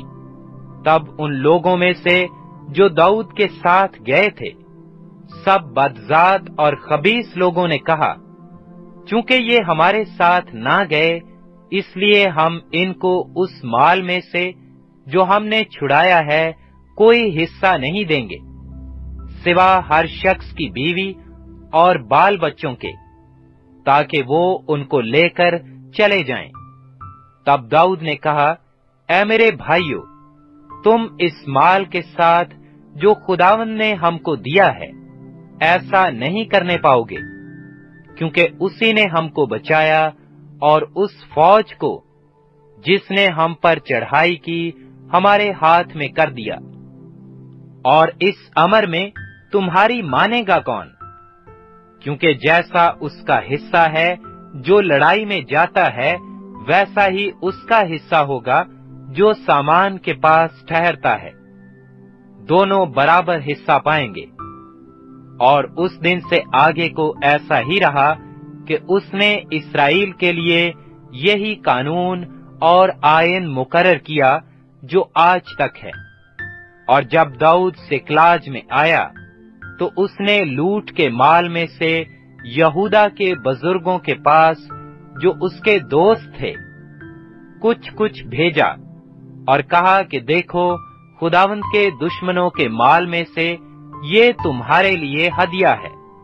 ये उनके पास जो बैतल में और उनके पास जो रामातुल जनूब में और उनके पास जो येतिर में और उनके पास जो अरोएर में और उनके पास जो सिर्फ़ मौत में और उनके पास जो अस्तमुआ में और उनके पास जो रेकल में और उनके पास जो यरहमेलियों के शहरों में, और उनके पास जो केनियों के शहरों में, और उनके पास जो हुरमा में, और उनके पास जो कुरसान में, और उनके पास जो अताक में, और उनके पास जो हेब्रोन में थे, और उन सब जगहों में जहाँ जहाँ दाऊद और उसके लोग फिरा करते थे भेजा।